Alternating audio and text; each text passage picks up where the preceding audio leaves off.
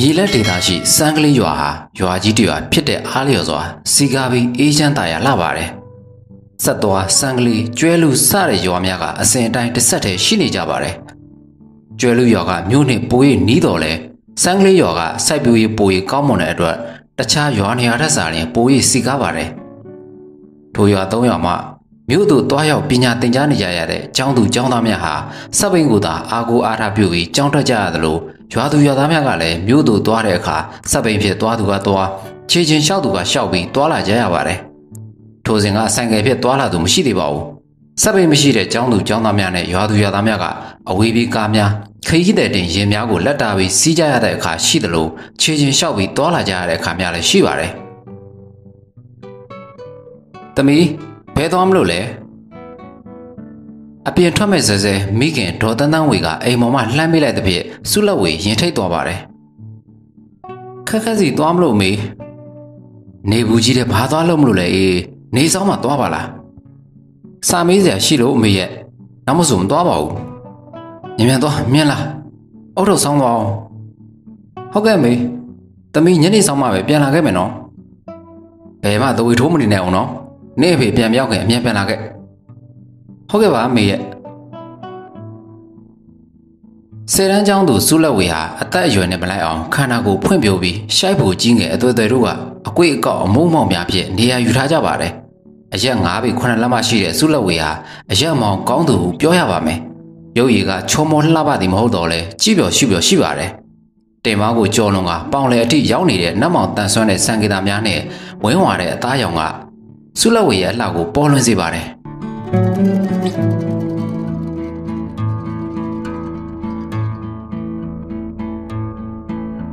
ဘဘာဘာဖြစ်နေရလဲကြော်ကြီးဟိုမှာကြည့်စမ်းမအောင်ကွာဘာလဲကြော်ကြီးစုလက်ဝေကြီးကွာ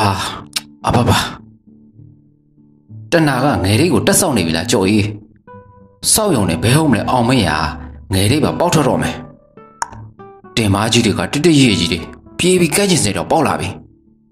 ကြော်ကြီးရမင်းအရက်နဲ့ပြန်စင့်ဖင်ကိုခွေးခုံခိုင်းတယ်လို့ဖြစ်နေပါမယ်မမေ့ရင်ပေါင်းကိုကိုက်မယ်ကွာနာဘူးထမနေနဲ့ကြော်ကြီးတောက်ဆရာရက်တော့ဇရဲကြော်လေးမြည်ပြီးစီးစိမ်ခံစားမှာကွာအောင်မဲစုလက်ဝေကရေစိမ်ခံအကျန်းခံကြီးကွာနော်ကြော်အေးရမင်းရဲ့တူမအရွယ်လောက်ပဲရှိပါသေးတယ်ကွာကလေးပဲရှိသေးတာဘာတွေပြစ်မှာနေတာလဲဟဲ့အောင်ဒါလားကလေး မင်းကိုပေါင်ချားနဲ့ညက်ပြီးတတ်လို့ရတယ်ဟဲ့အောင်တော်စမ်းပါကွာမင်းမှလည်းညီမတွေတူမတွေရှိပါတယ်ကိုချင်းစာပေါ့ကွာဘာမှမလုပ်ပါဘူးအောင်မင်းဟာအန်ကျိတ်ပြီးစိတ်နဲ့ပြစ်မရုံလေးပါအခုနေစုလက်ဝေကို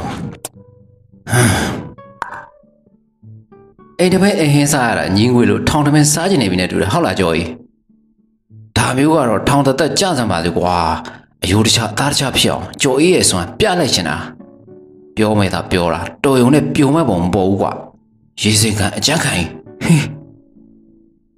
တောက်ဖြစ်လည်းရှိတာမဟုတ်ပဲနဲ့ကွာမင်းအကြောင်းငါအသိဆုံးပါစိတ်ပဲရှိပြီးလူကမစွမ်းတော့လို့မင်းမင်းမလင်ငယ်လောက်လိုက်သွားတာပေါ့ကွာဒါကမိန်းမမဟုတ်လို့လေကွာစုလို့ဝေတာဆိုလို့ကတော့မီးပါပွင့်ပြီးတရားလုံးမီးလောင်သွားမယ်ဘာမှနဲ့လဲ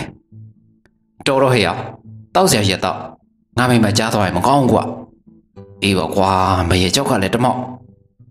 မရကြောက်လို့မဟုတ်ဘူးကွာမင်းပြောနေတာတွေကကြားလို့မကောင်းလို့စုလို့ဝင်တဲ့ငါမိမကညီမဝမ်းခွဲတော်တာမင်းလည်းသိနေတာပဲအေးပါကွာငါလည်းစိတ်တရှိတာပြောမိတာပါပါဇက်ပိတ်ပြီးတောက်ကွာပါဇက်ပိတ်ပြီးတောက်လို့ရမလားဟာငါလည်းခွီးမှာပဲစုလက်ဝေးအကြောင်းမပြောဖို့ပြောတာဟာအေးပါကွာမပြောတော့ပါဘူးဆရာခိုင်မိမကိုလွမ်းနေတဲ့နဲ့တူတယ် မဟုတ်ပါဘူးကိုတောင်းနိုင်ရဲ့ပြင်းပြင်းရှိတာနဲ့တောင်းစင်းစားမြောက်စင်းစားလုံနေတာပါအမှုမရှိတော့လဲပြင်းစရာကောင်းတယ်ဗျနော်ဆရာခိုင်ဟာဟဲ့လို့ပြင်းကျင်တော့ပြင်းစမ်းပါစေအမှုတော့မရှိပြရစေနဲ့ဗျာကျွန်တော်လည်းအမှုလာမှကြောက်တယ်ဆရာခိုင်ရေရိုက်မှုခိုးမှုလောက်ကပြဿနာမရှိဘူးလူတက်မှုလို့အမှုကြီးတွေရောက်မလာပါစေနဲ့လို့ဆုတောင်းနေရတယ်ဒီမျိုးလေးကမစိုးပါဘူးအေးချမ်းပါတယ် ကျွန်တော်ရောက်ကြတဲ့ကနွားခိုးမှုလိန်လံမှုလောက်ကလွယ်အမှုကြီးတွေတက်မလာဘူးကျွန်တော်ရင်ကိုစိုးတန်းလက်ထက်မှာလည်းအမှုကြီးကြီးမားမားဖြစ်ခဲ့ဘူးဗျအဲ့ဒါတခုတော့စိတ်ချမ်းသာတယ်အခုအတိုင်းဆက်ထိန်သွားနိုင်မှုတော့လိုတယ်ဟုတ်တယ်ဆရာခိုင်အမှုကြီးမပြောနဲ့အမှုသေးဖြစ်ရင်တော့ခရိုင်မှုကကြိုက်တာမဟုတ်ဘူးအမှုလိုက်ရတာကတစ်မျိုးအဆူဆဲခံရတာကတစ်မျိုးအရန်စိတ်ညစ်ဖို့ကောင်းတယ်ဒါတော့အမှန်ပဲလေသူ့တောင်ကလည်းသေးတာမှမဟုတ်တာ မြို့နယ်တစ်ခုမှာအမှု၃ခုလောက်ဖြစ်တယ်ပဲထားမြို့နယ်၁၀ခုဆိုရင်အမှုပေါင်း30ဖြစ်နေပြီခရိုင်အတွင်းမှာမြို့နယ်ပေါင်းများလေအမှုပိုများလေပေါ့ဗျာကျွန်တော်တို့မှလည်းအပေါ်ကဖိအားပေးလိုက်ရင်နေစရာမရှိအောင်ဖြစ်ရတော့ဘာအမှုမှမဖြစ်တာအကောင်းဆုံးပါဒါတော့ဟုတ်ပါတယ်ဒါနဲ့ဆရာခိုင်အမျိုးသမီးကဘရော့ပြန်လာမှာလဲလောက်ကောင်လောက်မှရောက်မှထင်တယ်သူ့အမေတက်တာမှပြန်လာမှထင်တာပဲဆရာခိုင်ပြင်းနေရင်လက်ဖက်ရည်သွားတော့ကြရအောင်ဗျာကောင်းသားပဲကိုတောင်းတယ် စခန်းမှုရဲအုပ်မြက်ခိုင်ကတောင်ဝရအရာရှိဒူရဲအုပ်တယောက်ကိုမှားစရာရှိတာမှားကြခဲ့ပြီးအမှုစစ်အရာရှိဒူရဲအုပ်တောင်းတန်တဲ့အတူစက်ဘင်းကိုစီဖြစ်လက်ဖက်ရည်ဆိုင်သို့ထွက်လာခဲ့ပါတယ်ဖိုးကြီးဘယ်သွားမလို့လဲဗျနှခမ်းမွေးကားကဗလာတော့တော့နဲ့အမျိုးသားကြီးတယောက်ကလှမ်းခေါ်လိုက်တဲ့ဖြစ်ကိုမြင့်ခိုင်နဲ့ကိုတောင်းတန်တို့နှစ်ယောက်စပင်းကိုရက်တန့်ပြီးအမျိုးသားကြီးကိုလှည့်ကြည့်လိုက်ကြပါတယ်ဟောဆရာကောင်းလက်ဖက်ရည်ဆိုင်သွားမလို့ဗျာလိုက်ခဲ့လေ လိုက်မှာပေါ့ဗျာဆရာကောင်းကဘာလာလို့တာလဲစေးမီတို့လေးအတွက်လိုတဲ့ပစ္စည်းလေးလာဝယ်တာဗျာကျွန်တော်ပြောတာမေ့နေပြီလားဆရာကောင်းဘာလို့လဲဘိုးလေးမင်းတို့မင်းသုံးတဲ့စေးဖော်ပေးပါဆိုတာမဖော်ပေးဘူးနော်ဆရာကောင်းဩကရိုးနာယူစေးလားအာပောက်ကြရတယ်ဟိုဟာကောင်းတဲ့စေးလေဖားစေးတော့ဝမ်းတို့စေးလား တော်ပြီဆရာကောင်းရလက်ဖိတ်ဆိုင်ကြမှာပဲဆက်ပြောတော့မယ်ဆရာကောင်းကျွန်တော်ကယ်ရီယာကနေလိုက်လာခဲ့ဗျာမလိုက်တော့ဘူးဘူကြီးကျွန်တော်ဟာကျွန်တော်ပဲလမ်းလျှောက်လိုက်ခဲ့မယ်ရပါတယ်ဗျာလိုက်ခဲ့စမ်းပါဘူကြီးတို့သွားနေမှာကျွန်တော်လိုက်လာခဲ့ပါမယ်ဒါဆိုသွားနေပြီကိုထဲဝင်းရဲ့ဆိုင်ကိုလိုက်ခဲ့ဗျာဟုတ်ကဲ့ဘူကြီးချစ်လိုက်တာကွာ ဟိုတော်ပြီလေကိုကိုပါမှာတနက်ခါတွေမရှိတော့ဘူးတနက်ခါမရှိလဲစုကလှပေးတာပါတော်ကြအိမ်ပြန်ရောက်မှဖေနဲ့မေတို့မေးဖျားခတ်နေမယ်ဘာခတ်တာမှတ်လို့စုရချွေးထွက်လို့တနက်ခါတွေပြက်ကုန်တယ်လို့ပြောလိုက်ပေါ့ချွေးထွက်လို့တနက်ခါပြက်ရင်မျက်နှာတစ်ခုလုံးပြက်ပါမလားကိုရဲ့အခုကမျက်နှာတစ်ခုလုံးတနက်ခါမှမရှိတော့တယ်ဟာဒါဆိုတငယ်ချင်းတယောက်စီခဏဝင်ပြီးတနက်ခါလူလိုက်ပေါ့ဟဲ့မဟုတ်တာ သူတို့တွေကလှုပ်သားသတင်းစာတဲ့စိုးတယ်သူတို့ပြောမှတရားလုံးတစ်ချောင်းလုံးသိကုန်မှာမတော်ပါဘူးပြက်လဲပြက်ပေါ့မထူးတော့ပါဘူးကွာဟာကွာကိုကျွန်တော်ပြောတာမမိန်နဲ့နော်မင်းတို့မင်းကြီးတုံးတဲ့ဆေးတော်ကြီးဖော်ပြီးအောင်ဖော်တာတော့ဟုတ်ပါပြီဘိုးလေးကမိမလည်းမရှိပဲနဲ့ဘာလို့မလို့လဲမိမရှိမှစားရမှာလားဆရာကောင်းရဲ့ဟုတ်တယ်လေဗျာ မြန်မာဈေးကအင်္ဂလိပ်ဈေးလိုချက်ချင်းအာနီးတင်ပြတာမဟုတ်ဘူးဗျအင်္ဂလိပ်ဈေးတွေကအာနီးတင်လဲပြည့်လွယ်တယ်မြန်မာဈေးဆိုတာကလက်ဆွဲထားပြီးအမြဲသုံးရတာကြာမှဆေးအာနီးတင်ပြတာလေဘိုးလေးကဆေးအာနီးတင်ပြပြီဆိုရင်လေအင်္ဂလိပ်ဈေးတွေလိုချက်ချင်းပြည့်သွားတာမဟုတ်ဘူးဆရာကောင်းပြောချင်တာကကျွန်တော်ပြောချင်တာကဆေးအာနီးတင်ကအချိန်တိုင်းမှာရှိနေမှာဘိုးလေးမှမိမမရှိတော့ဆေးအာနီးတင်ပြတဲ့ချိန်ဘိုးလေးဘလို့လုံးမှာလဲဗျာ အပူနဲ့ဆရာကောင်ကိုတောင်းတာမှာကြောင်မတကောင်မွေးထားတယ်ဗျဟာဆရာခိုင်ဟာဟာဘူကြီးကတော့စော်ပြီဟာစတာနော်ကိုတောင်းတာရပါတယ်ဆရာခိုင်ကြောင်မကိုတော့မလုပ်ပြစေနဲ့ဗျာဘာဖြစ်လို့လဲကိုတောင်းနေရကြောင်မကအတကုံအော်မလေးဗျာစကန်းတစ်ခုလုံးလမ်းဖြတ်ကုန်ပါမယ်ကိုတောင်းနေရပြောလဲပြောတတ်ပါ တကယ်ကဆေးတွေဝါးတွေသုံးစရာမလိုပါဘူးပိုလေးဟာကျမ်းမာရေးတာလိုက်စားစမ်းပါဟုတ်တယ်ကိုတောင်းတန်ဆရာကောင်းကိုကြည့်ပါလားတန်တမာမာဖြက်ဖြက်လက်လက်နဲ့တကယ်လူငယ်တယောက်ကြာနေတာပဲဆရာကောင်းကအသက်ဘယ်လောက်ရှိပြီလဲကျွန်တော်63နှစ်ပါဘိုးကြီးတွေ့လားကိုတောင်းတန်ကျွန်တော်တို့နဲ့အသက်30နီးပါးလောက်ကွာတယ်တန်တော့မြန်တော့မယ်ဆရာကောင်းမိဝဲတဲ့ဆေးပဲမဆပါဗျာကျွန်တော်ဘာဆေးမှမမိဝဲဘူးဘိုးလေးက ဟမ်ကိုကကိုဆေးပေါ်မစားဘူးလားမစားဘူးဗျဘာဖြစ်လို့လဲဆရာကောင်းကိုဖော်တဲ့စီကိုမယုံလို့လေဆရာကောင်းကတော့နောက်ပြီဗျာတကယ်ပြောတာဗျဘိုးကြီးကငငယ်ကလေးကအခုချိန်ထိနာမကျန်းမဖြစ်ဘူးတော့ဘာစေးမှမတော့ဘူးဒါလည်းကုသိုလ်ကမဲ့ဆရာကောင်းရေဆရာကောင်းကလူနာတွေကိုစေနာထားပြီးကုသပေးနေတော့ကုသိုလ်အကျိုးပြန်ရတယ်နဲ့တူပါတယ် ဟုတ်လိမ့်မယ်ဘိုးကြီးရေဆရာကောင်းကျမ်းမာရေးဒီလောက်ကောင်းမွန်ထောင်းရင်ကျွန်တော်အထင်တော့ဆရာကောင်းမှာအဆောင်ကောင်းတစ်ခုတော့ရှိရမယ်မဟုတ်မှလွယ်ရောလက်မှာစွတ်ထားတဲ့ဓာတ်လုံးကြောင့်ထင်တယ်ဓာတ်လုံးကလည်းနဲတဲ့ဓာတ်လုံးမဟုတ်ဘူးကိုတောင်းတန်ကဦးကောင်းဆိုင်ရဲ့ဘယ်ဘက်လက်တစ်ရွက်မှာစွတ်ထားတဲ့မြေပဲစီအရွယ်ထက်အနှဲငယ်ကြီးမဲ့ရွှေအောင်ပြောင်လဲနေတဲ့တတ်ထုလုံးကိုမိန်းကွန်ပြရင်ပြောလိုက်ပါတယ်ပြောလို့တော့မရဘူးဘိုးလေးက အဲ့ဒီဓာတ်လုံးကကျွန်တော်အဖေပေးခဲ့တဲ့ဓာတ်လုံးအဖေကိုရသေးတပါစွန့်ခဲ့တာလို့တော့ပြောတာပဲရွှေစစ်လားဗျအစ်စ်တော့မဟုတ်ပါဘူးဒါပေမဲ့ဓာတ်တွေပေါင်းထားတော့ရွှေလည်းပါမယ်ထင်တယ်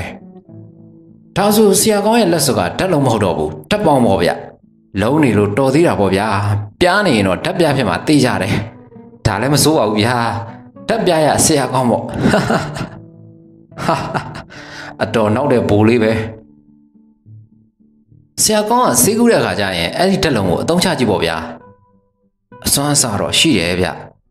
အဲ့ဒီဓာတ်လုံးကိုရေစိမ်တော့ရင်အတော်ပေါက်တယ်ဟာတကယ်လားဆရာကောင်းဘာတွေပေါက်တာလဲလောက်စမ်းပါအောင်အဆင်ပြေကျွန်တော်ကိုလည်းမျှစမ်းပါဗျာ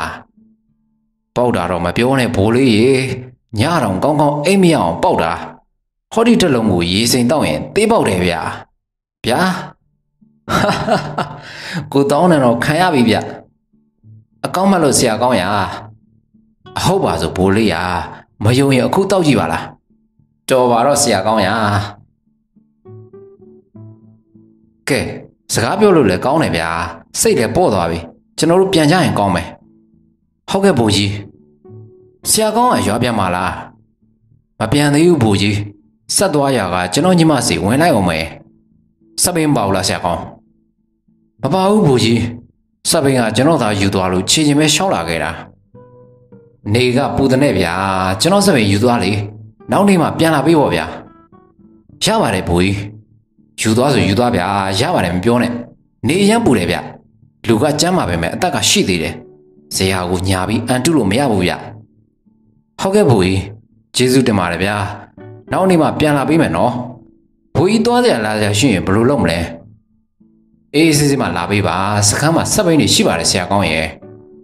ကျေးဇူးတင်ပါတယ်ဗျာရွာကိုလာအောင်လေကြက်ကာလသားချက်လေးချက်ကျွေးပါမယ်ဗျဆရာကောင်းကာလသားချက်ဆိုရင်တော့ဆရာကြီးပါမှာပို့ချိုးတယ်နော်ကျွန်တော်ရှာပြီးယူလာခဲ့မယ်မလောက်ပါနဲ့ဘိုးလေးရဲ့၃ယောက်စလုံးစေးကြောက်မှုနဲ့ထောင်ထဲရောက်နေပါအောင်မယ်ကျွန်တော်ထောင်ထဲရောက်တာကိစ္စမရှိဘူးဘိုးလေးတို့ထောင်ထဲရောက်ရင်ထောင်ကြတွေကဝိုင်းစော်လိုက်မယ်ဟာဟာ အဟုတ်ပဲဆရာကောင်းရေရဲဆိုတာနဲ့ဝိုင်းစော်ကြမှာအသေးချပဲကဲသွားကြမယ်ဗျာကိုထဲဝင်ရင်ထုံးစံတိုင်းမှတ်ထားလိုက်ဗျာဟာမဟုတ်တာကျွန်တော်ရှင်းပေးမှပဲဘိုးကြီးဟာမရှင်းနဲ့ဆရာကောင်းအကျွေးမှတ်ပြီးစားတော့ရတာလည်းအရသာပဲဗျတထေးလိုလိုဘာလိုလိုပေါ့ဗျာလာစာထုတ်ပြီးလို့အကျွေးတွေလည်းရှင်းပြီးတော့ခွေးဖြစ်တော့တာပဲဟာဟာကိုကိုမနေနိုင်တော့ဘူးစုရ ဟာကိုကိုကလေအခုတော့စိတ်ကိုထိမ့်ပါအောင်ဖွေးရပြီးလက်ထက်ကြမယ်လေအဲ့ဒီခါမှယူနော်စုရကိုကိုတကယ်မနေနိုင်တော့ဘူးစုကကိုကိုကိုမရှိတာသိပါတယ်ကွာကိုကိုရအဲ့လိုတော့မပြောပါနဲ့ကိုကိုကိုချစ်လို့အရေးဆုံးပြီးလာတွေ့တာပေါ့အဖေနဲ့မိသားသိရင်စုကိုတတ်ကြမှာနည်းနည်းလေးတော့မရဘူးလားကွာဟမ်မရဘူးပစ္စည်းညောက်တော့လေကွာ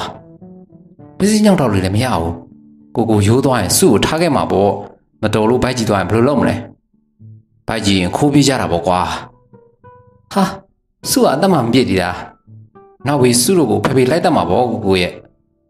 အသက်မပြည့်တာတွေပြည့်တာတွေကိုကိုမသိဘူးဟောတာတွေကတော့ပြည့်တင်းနေတာပဲဟာကိုကိုရှက်တယ်မပြောနဲ့စုကိုကိုကိုချင့်ခွင့်ပြုပါနော်ဟဲ့ကိုကိုရာစုတနားအဲ့ဒါတော့မတောင်းပါနဲ့နော် စုရလဲကွာဘာမှမဖြစ်စေရပါဘူးဘာမှမဖြစ်ပဲနေမလားကိုရဲ့စုရဲ့အပြိုစင်ဘဝပြတ်သွားမှာပေါ့စုကိုကိုလက်ထပ်ယူမယ်လို့ပြောပြီးသားလေဒါကကြောက်အောင်ပါလေကိုကိုကိုလည်းစီးပွားရှာစုရဲတက်ကတူတက်ပြီးဖွဲရုံးမယ်လေအဲ့ဒီအချိန်တော်တွင်ကိုကိုကဒီလိုပဲနေရမှာလားစုရဒီလိုပဲမနေလို့ကိုကိုကဘယ်လိုနေချင်သေးလို့လဲဒီလိုနေချင်တာဟာကိုကို ကို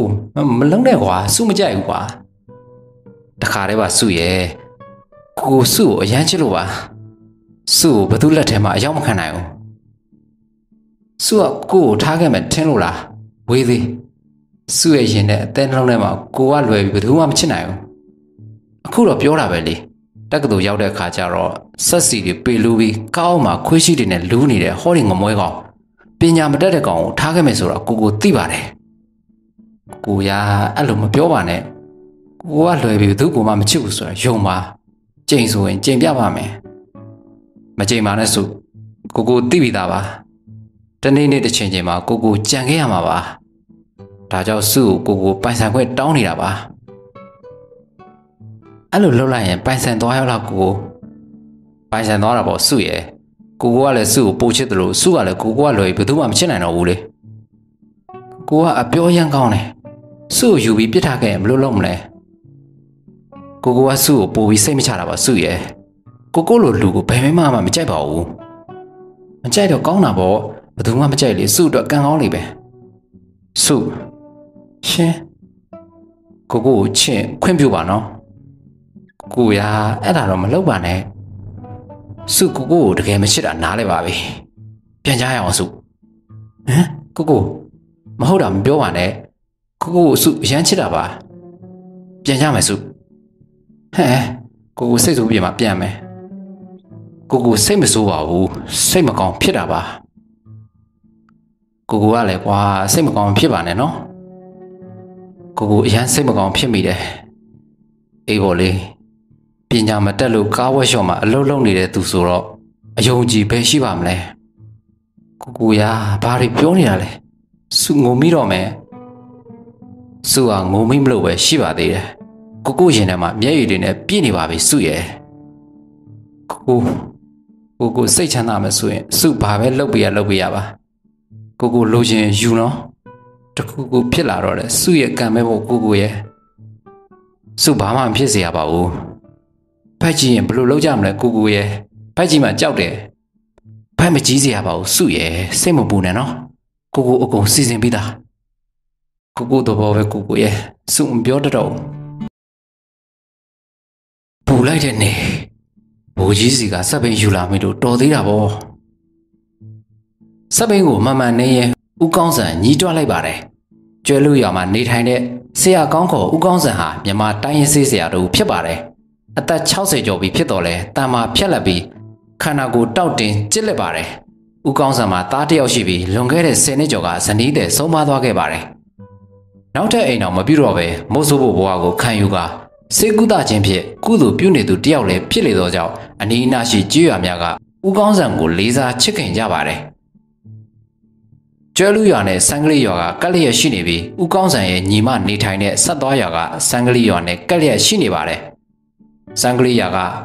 ကျွဲလူရွာနဲ့ဆက်သွားရွာကြားမှာတည်ရှိပါတယ်ကျွဲလူရွာကမြို့နဲ့တမိုင်ကျော်မြတာဝေးပါတယ် ဆက်သွားရသူရောက်လျင်ညီမဖြစ်သူနဲ့စကားစမိပြောဆိုပြီးနောက်ဆက်သွားရမှာရှိတဲ့မမာမကျန်းဖြစ်နေတဲ့လူနာများကိုလှည့်လည်ကုသပေးပါတယ်။အဲဒီလိုကုသပေးနေစဉ်မှာလူနာတယောက်အတွက်အရေးတကြီးလိုအပ်နေတဲ့ဆေးတပုံကိုအမြန်ပြန်ယူရပါတယ်။တာလာမကြီးကသွားလျင်အချိန်ကြာမြင့်ပြီဖြစ်သောကြောင့်ဖြက်လမ်းမှသွားရန်ဆုံးဖြတ်လိုက်ပြီးဆက်သွားရမှာကျွဲလူရွာအထိဆက်သွယ်ထားတဲ့ရွာအနောက်ဘက်လမ်းအတိုင်းဆက်ဘင်းကိုခတ်သွက်သွက်နင်းလာခဲ့ပါတယ်။ထိုလမ်းကဖြက်လမ်းဟုဆိုတော့လဲအသုံးပြုခြင်းနည်းပါပါတယ်။ မြေဆိုင်မြေခဲများဂျိုက်ခွက်များဖြင့်ပြည့်နှက်နေတဲ့အပြင်အာတုပပို့ရန်အတွက်သာအသုံးပြုကြသဖြင့်လူသွားလူလာမရှိပါဘူးဆက်သွားရွာနဲ့ဆန်းကလေးရွာအကြားသို့ရောက်မှဂျိုက်ခွက်ကိုရှောင်လိုက်ရာမြေဆိုင်တစ်ခုကိုနင်းမိပြီးလဲကျသွားပါတယ်ကံကောင်းထောက်မှသဖြင့်ကြီးကြီးမားမားဒဏ်ရာရခြင်းမရှိတော့လဲအနှဲငယ်တိခိုက်ပွန်းမဲ့ခဲ့ပြီးရှေ့ဘင်းကဂွေခွင်ကဆက်ဘိန်းမီးသည်နဲ့ဘဲများပျက်စီးသွားပါတယ်စိတ်ပြက်လက်ပြက်ဖြစ်ဆက်ဘိန်းကိုထမ်းလာရင်လမ်းနဲ့မလန်းမကန့်မှာရှိတဲ့ယာကိန်းထဲမှာ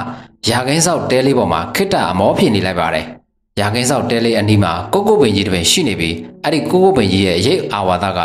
ရာခင်းဆောက်တဲလေးနဲ့အနီးနားကိုအုပ်မိုးထားသဖြင့်အေးမြနေပါတယ်။မလန်မကန့်မှာနမဲကျော်တုတ်တန်ရှိပြီးဆက်သွားစန်းကလေးကျွဲလူရွာ300ရဲ့တခုတည်းသောတုတ်တန်လည်းဖြစ်ပါတယ်။ထိုတုတ်တန်ကဆက်သွားရွာနဲ့စန်းကလေးရွာအကြားမှာတည်ရှိတော်လဲစန်းကလေးရွာနဲ့ပိုးရနီးပါတယ်။ ကွန်မြူနစ်လက်နက်ကင်များကအပြစ်ရှိသူများကိုအပြစ်ပေးတဲ့အခါထိုတုတ်တန်နေရာမှာတက်ဖြတ်တက်ကြတယ်လို့ပါဇက်ရာဆိုရင်ရှိခဲ့ပူပါတယ်။အဲ့ဒီတုတ်တန်ကတရေ6တီကိုနာမည်ဆိုးဖြစ်ကြောကြားသဖြင့်ထိုလမ်းမှာသွာလာခြင်းမရှိကြပါဘူး။ကိုကိုကိုကိုဆုဆုဆုအရန်ချစ်တယ်။ဆုလည်းကိုကိုအရန်ချစ်တယ်။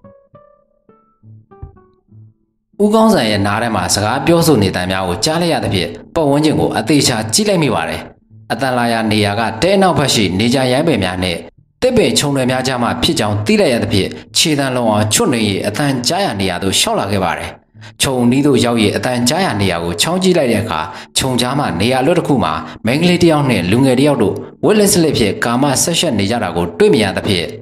ဦးကောင်းဆန်ရဲ့မျက်လုံးများပြူးကျဲသွားသလိုရင်တစ်ခုလုံးလှိုက်ဖို့သွားရပါတယ်။ မိန်းကလေးကိုအသေးချာကြည့်လိုက်ရာစန်းကလေးရွာမှာဥတင်ဝဲနဲ့ဒေါ်တန်းတန်းဝေတို့ရဲ့သမီးဆုလက်ဝေဖြစ်နေတာကိုသိလိုက်ရ၍ပိုပြီးအံ့အားသင့်မိပါတယ်။ဆုလက်ဝေနဲ့ချစ်တင်နှောနေတဲ့လူငယ်ကိုတော့မြည်သူမြည်ဝါမှန်းဥကောင်းဆန်မသိပါဘူး။ဆုလက်ဝေနဲ့လူငယ်တယောက်ကာမဆက်ရှက်နေကြတဲ့မြင်ကွင်းကဥကောင်းဆန်ရဲ့သွေးသားများကိုစူပွက်သွားစေပါတယ်။စူဖြိုးတရင်ပြီးဝင်းဝါစူပြီးတဲ့ဆုလက်ဝေရဲ့ခန္ဓာကိုယ်နဲ့မမြင်အပ်တဲ့အလှတရားများကဥကောင်းဆန်ကိုညှို့ယူဖန်ဆားထားပါတယ်။ ကာမအရသာကိုမြေရီရှက်ရီခံစားနေကြတဲ့ဆုလက်ဝင်တဲ့လူငယ်တို့ရဲ့အပြုတ်မှုများကဥကောင်းဆန်ရဲ့ရင်တစ်ခုလုံးကိုပြောင်းဆန်စီခဲ့ပါတယ်။သွေးများပွပွဆူရီအာကောင်၆ကလာတဲ့ပြည့်တရွေးကိုမကြာခဏမျိုးချနေရပါတယ်။ခဏကြာမှဆုလက်ဝင်တဲ့လူငယ်တို့ချစ်တဲ့နှောခြင်းကိစ္စပြီးမောက်သွားကြ၍အဝိဇ္ဇာများဝစ်စင်နေစဉ်မှာခြေတံမကြောက်အောင်ချွတ်နေကထိုနေရာမှာအသာထွက်လာခဲ့ပါတော့တယ်။ငါမူးရီအောင်မယ်ပြန်တော့မယ်ဖြစ်ပါမလားကြော်ကြီး မိုးနေခဏအိတ်လိုက်ဟောလေအမူးပြေမှာပြန်ပေါ့ကျော်အေးတို့ကဘလောက်မုံမူခြေလမ်းမမဘူးကွာနောက်နေမှတွေ့မှာကွာပြန်လို့ရရင်လည်းပြန်ပေါ့ကွာငါစိတ်ဘူးလို့ပြောတာစိတ်ဘူးစရာဘာရှိလို့လဲမျက်စိမိတ်ပြီးလမ်းလျှောက်ရင်တော့အိမ်ပြန်ရောက်ပါတယ်ကွာအေးပါပြန်မယ်ဆိုရင်လည်းပြန်တော့မနေ့ပြန်မနေ့စောစောလာခဲ့ကွာအိမ်ရောက်ရင်လည်းထပ်မတော့နဲ့အောင်အေးပါကွာကျော်အေးက အောင်မင်းကိုလက်ပြပြီးပစိုးကိုတူတူဝက်ကခြံဝိုင်းထဲမှာထွက်သွားပါတယ်ဟဲ့အောင်ဘလောက်မမှုခြေလမ်းမမဘူးလဲပြောသေးတယ်မင်းပြန်ရမှာတောင်ဘက်ပိုင်းလေကွာဘယ်သွားမလို့လဲဆူလက်လေးကိုသွားရှာမလို့အာဟဲ့အောင်မဟုတ်တာလေရှောက်မလို့စမ်းပါနဲ့ကွာဘာမှမလုပ်ပါဘူးကွာဆူလက်ဝေလေးကိုဖတ်နှမ်းယုံလေးပါမင်းကတော့ထောင်စောနန်းနေပြီထွေးငါနဲ့ဆူလက်ဝေညာမှာ ကျော်အေးမင်းပိုင်လာကြည်လားမလုံးနဲ့နော်မင်းနဲ့ငါအမျိုးတော်တော်မှာသွားစမ်းပါကွာမင်းကိုဆွလက်ဝေကတောက်ဟိတော့မဆိုင်ဘူးဆွလက်ဝေကကလေးပဲရှိသေးတာမပြစ်မှချင်းစမ်းပါနဲ့ကျော်အေးဟာငါမိမကြားသွားမှတောက်ပြန်တာရှင်းနေရပါမယ်ပြန်တော့ရအောင်ဟဲ့အောင်မင်းဘာလဲကလေးကလေးနဲ့ကျော်အေးနဲ့ကလေးတရာစင်လောက်မွေးလို့ရနေပြီကွာငါလောက်ရှိတဲ့ကလေးကိုအမှားဘူးတပြိုင်တည်းမွေးလို့ရတယ်ကွာဟာဟဲ့အောင် လူကြားမကောင်းသူကြားမကောင်းကွာပြန်တော့မပြန်သေးဘူးစုလက်ဝေရဲ့တင်ပါကြီးကိုပြစ်မှာဖို့သူပြန်လာကိုထိုင်ဆောက်လိုက်အောင်မယ်ပြောမရလဲမင်းနိုင်နဲ့မင်းကန်ကွာသွားပြီဟဲ့စခါရေပြဿနာတော့တက်ပြီစခန်းထဲသို့ဝင်လာတဲ့စခန်းမှုရဲအုပ်မြက်ခိုင်အားဒူရဲအုပ်ကိုတောင်းတန်ကစီးကြိုပြီးပြောလိုက်တဲ့ဖြစ်ကိုမြက်ခိုင်ကတောဆောင်အုပ်ထုပ်ကိုချွတ်လိုက်ပြီးကိုတောင်းတန်ကိုနားမလဲတဲ့ဖြစ်ပြန်မေးလိုက်ပါတယ် ဘလို့ဖြစ်လို့လဲကိုတောင်းတန်စံကလေးရောကဆုလက်ဝေဆိုတဲ့မိန်းကလေးတယောက်ပျောက်နေလို့လူပျောက်လာတိုင်ထားတယ်ဖဲရွယ်လဲဗျအသက်က16နှစ်နဲ့3လမိဘနာမည်ကဦးတင်ဝဲဒေါ်တန်းတန်းဝေငငယ်ပဲရှိသေးတာပဲကျောင်းသူလားဗျဟုတ်တယ်ဆရာခိုင်းအထက်ကတက်မှာ10တန်းတက်နေတာစဉ်းစားစရာပဲဗျလူပြောက်လာတိုင်တာသူ့မိဘတွေလားဟုတ်တယ်ဆရာခိုင်းဥက္ကဋ္ဌနဲ့အဖွဲ့ဝင်တွေလည်းပါလာတယ်ဟောဒီမှာကြည့် တိုင်ချက်နဲ့အတူဓာတ်ပုံမှာတွဲထားတယ်ပြစမ်းမအောင်ဗျာကိုတောင်းတန်လှမ်းပိတ်လိုက်တဲ့တိုင်ကြားချက်မှတ်တမ်းစာအုပ်ကိုယူကြည့်ပြီးကိုမြက်ခိုင်ရဲ့မျက်ခုံးတစ်ဖက်မြင့်တက်သွားပါတယ်အသက်16နှစ်သားဆိုတဲ့လုံးကြီးပေါက်လာပဲဗျဟုတ်တယ်ဆရာခိုင်အရက်ကကျွန်တော်နဲ့အတူတူပဲဗျငါးပေခုနှစ်လက်မဆိုတာမိန်းကလေးတွေထဲမှာအရက်မြင့်တယ်လို့ပြောရမှာပေါ့ဟုတ်တယ်ဆရာခိုင်ဒေါင်နဲ့ကိုလုံးကိုဘောကတော့ရွှေဘုံမင်းကြိုက်ပဲဗျအ မ်အသက်16နှစ်ဆိုတာဟုတ်ပါမလားဗျာမွေးစင်းရင်များပြင်ထားလားထင်ရတယ်ဟုတ်မှာပါဆရာခိုင်လက်ရှိလဲ10နဲ့တက်နေတာပဲလေပျောက်သွားတာ300တောင်ရှိနေပြီပဲအခုမှဘာဖြစ်လို့လာတိုင်ကြတာလဲမသိဘူးဗျာကောင်းမလေးရဲ့မိဘတွေကိုကြည့်ရတာရိုးရိုးအေးအေးတွေဗျရုံးတွေဂတ်တွေကိုလမ်းမရတယ်ကျွန်တော်ထင်တော့လင်နောက်လိုက်သားတယ်နဲ့တူတယ်ဖြစ်နိုင်ဖို့များတယ်ကိုတောင်းတယ်ကောင်းမလေးကအသက်တာငယ်တာ ခန္ဓာကိုယ်ဖွဲ့စည်းပုံကအိမ်အောင်ပြုတ်နိုင်တဲ့အရွယ်ဖြစ်နေပြီပစ္စည်းယူပြီးလူတက်ဖို့ကလည်းသူ့မှာပါသွားတာကကြောက်နေငကက်လေးတရံပဲပါတယ်တခုစဉ်းစားရမှာကလက်နက်နဲ့ချင်းချောက်ပြီးခေါ်သွားတာလားဆိုတာစဉ်းစားရမယ်အတင်းအဓမ္မပြုတ်ကျင့်မှုကတော့တိတ်မလွယ်ဘူးဗျဟုတ်တယ်ဆရာခိုင်သူမိဘတွေလည်းအနီးနားကရွာတွေကိုရှာကြတယ်တဲ့သူ့သမီးမှရေးစားရှိတာလည်းမကြားမိဘူးတဲ့ဒါကတော့မိဘတွေရဲ့အမြင်လေဘယ်သားသမီးကဖွင့်ပြောမှာလဲဗျာ ကောင်းမလေးဘယ်ထွက်သွားတယ်ဆိုတာမျက်မြင်သက်သေမရှိဘူးလားဗျမရှိဘူးဆရာခိုင်သူမိဘတွေပြောပုံအရရွာနောက်ဖက်ပိုင်းကခက်ခက်ခိုင်ဆိုတဲ့သူ့တငယ်ချင်းစီစာသွားမိမလို့ဆိုပြီးနေ့လေတနာရီကျော်လောက်ကထွက်သွားတာတဲ့ခက်ခက်ခိုင်ကိုသွားမိတော့လေသူ့စီမလာဘူးတဲ့ဗျအမ်ကောင်းမလေးကသူ့မိဘကိုတစ်ဖက်ရိုက်သွားတယ်နဲ့တူတယ်ကျွန်တော်တို့ဘယ်လိုလုပ်ကြမလဲဆရာခိုင်ကျွန်တော်ကတော့သူ့ရွာကိုအရင်စုံစမ်းကြည့်ခြင်းတယ်မလုံးနိုင်အောင်ကိုတောင်းတယ် သူတက်နေတဲ့အကြောင်းမှာအရင်ဆုံးစုံစမ်းရမယ်ကောင်းမလေးရဲ့နေပုံထိုင်ပုံနဲ့အခြေအနေကိုဆရာဆရာမတွေကိုမေးကြည့်ရမယ်ဆရာဆရာမတွေကတပည့်တွေရဲ့အရေးချီကိုအသိဆုံးပဲကိုတောင်းတယ်သူ့တငယ်ချင်းအပေါင်းအသင်းတွေကိုလည်းချင်းကပ်ပြီးမေးရမယ်တက်တဲ့မေးတို့ကတော့ကြောက်ပြီးဖြေကြမှာမဟုတ်ဘူးတခြားနည်းလမ်းနဲ့ဝင်မရမယ်ဟုတ်တယ်ဆရာကိုင်းသူ့ရောက်ကိုသွားပြီးမစုံစမ်းတော့ဘူးလား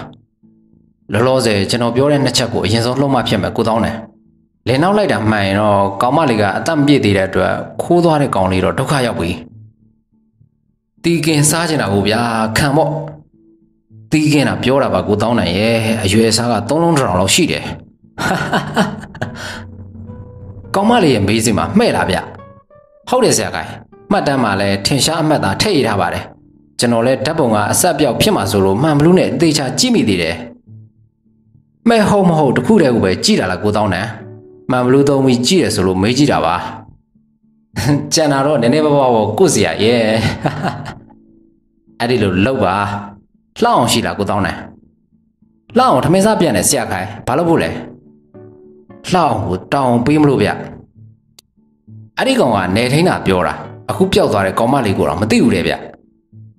ဖယ်သိပါမလဲလှအောင်ကအရက်ပုံနဲ့ဖဲဝိုင်းမဲ့လိုက်ရှာနေတာကိုဗျဒါတော့ဟုတ်တယ် နေအောင်လှအောင်ကိုလူလုပြီးခေါ်ခိုင်းလိုက်မယ်လောက်ပါအောင်ဗျာဘူကြီးတရင်စာတစ်စောင်ဖတ်နေကြအခန်းဝမှာခေါ်လိုက်တဲ့အတန်ကြောင့်ဖက်လက်စာတရင်စာကိုခောက်ပြီးအခန်းဝသို့ကြည့်လိုက်ပါတယ်ဆရာကောင်းပါလားလာဗျာထိုင်မထိုင်တော့ဘူးဘူကြီးစပိတ်လာပြန်ပေးတာပါထိုင်ပါအောင်ဆရာကောင်းရအလောကြီးဘဲသွားစရာရှိလို့လဲမှားထားတဲ့ဈေးမြစ်တွေရောက်နေတယ်ဆိုလို့တွားရင်မလို့ပါ စပိန်ကိုစကမ်းမိတ်ကတစ်ပင်အောင်မှာထားခဲ့တယ်နော်ဩဟုတ်ကဲ့ဆရာကောင်းရပါတယ်ဗျပြန်လိုက်အောင်ပဲဘူကြီးနေဘူးတော့ရွာအောင်မြန်မြန်ပြန်မှဖြစ်မယ်ဟမ်ခုနပြောတော့ဈေးမြစ်တွေတွားရင်မလို့ဆိုအာဟုတ်တာပဲစကားပြောနေရင်မေ့သွားတယ်ဗျတော်သေးတာဗောဘူကြီးတတိပေလို့ဟာဟာဟာဒါကြောင့်ပြောပါတယ်ခန္ဓာကိုယ်တန်ဆွားပေမဲ့ဇရာကဇရာပဲဗျတက်ကြီးလာရင်မေ့တက်လာတယ်ဇရာကိုလိန်လို့မရဘူး ဟုတ်ဟုတ်တယ်ဗျာတောက်ခွင့်ပြုပါအောင်ဆရာကောင်းကိုကြည့်ရတာအရင်ကတည်းကမတူဘူးဘာဖြစ်နေရလဲနေမကောင်းဘူးလားဗျဦးကောင်းဆန်ကကိုမြက်ခိုင်ကိုမုံဝမေရဲ့ကြည့်လိုက်ရင်တောင်းပန်စကားပြောလိုက်ပါတယ်နေကောင်းပါတယ်ဗျာဘိုးကြီးကိုတခုလောက်တောင်းပန်ခြင်းတယ်ဗျာအားလည်းအရန်နာတယ်ဘာလို့တောင်းပန်လို့ရုံးဗျဘိုးကြီးရဲ့စက်ပင်ကိုစီးသွားတော့ကလမ်းမှာဂျိုက်တစ်ခုကိုနင်းမိပြီးရှေ့ပင်ဂွေခွင်သွားတယ် အဲအဲ့ဒါကျွန်တော်ဂွေအစ်စ်ပြန်လဲပေးထားပါတယ်မီးသီးနဲ့ဘဲလဲပြက်စီးသွားလို့အစ်စ်ပြန်ထည့်ပေးထားပါတယ်ဘိုးကြီးဟာရပါတယ်ဗျတောင်းပန်စရာမလိုပါဘူးဗျာဆရာကောင်းပြောလို့သာသိရတာကျွန်တော်တော့စက်ပင်ကိုပြန်မကြည့်မိပါဘူးစီးလို့ရရင်ပြီးရပါဗျာကျေးဇူးတင်ပါတယ်ဗျာရပါတယ်ဆရာကောင်းရဲ့ချင်းချင်းတွေပဲဗျာပြောစရာတော့မလိုပါဘူးကျွန်တော်ကိုသွားခွင့်ပြုပါအောင်ဟုတ်ကဲ့ဆရာကောင်း အခန်းထဲမှာခတ်တော့တော့ထွက်သွားတဲ့ဦးကောင်းဆန်ကိုပြုံးရကြည့်လိုက်ပြီးဖက်လက်စာသတင်းစာကိုပြန်ဖတ်နေပါတယ်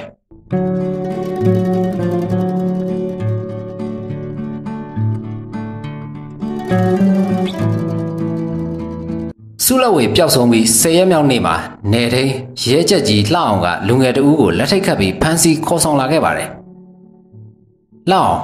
ဘာဖြစ်လာပြန်ပြီလဲ။မတင်ကားလို့ဆွဲလာတာ။ဟေးဘလို့ကြောက်လဲလှအောင်။ तू ကဘာတူလဲ။စံကလေးရွာမှာကင်းမုံမွေပြီးတရင်ယူနေတော့စုလက်ဝေတို့ခြံရှိမှာရစ်တီရစ်တီလုံနေတာတွေ့လို့ခေါ်မိတာကိုမဖြေပဲထွက်ပြေးတယ်လေ။ဒါနဲ့ဥက္ကဋ္ဌကိုအကူကြီးတောင်းပြီးဝိုင်းဖမ်းလာခဲ့တာ။ဒီကောင်လာချောင်းနေတာ၃ရက်ရှိပြီဆိုတာသတင်းရလို့ကင်းမုံဝေပြီးစောင့်နေတာဥက္ကဋ္ဌရောပါလာလားပါတယ်ဆရာကုန်းဝင်နေလို့ကြံခဲ့တယ်တယောက်လောက်ကိုသိန်းအောင်ကိုပြေးခေါ်ကြသမှာကွာ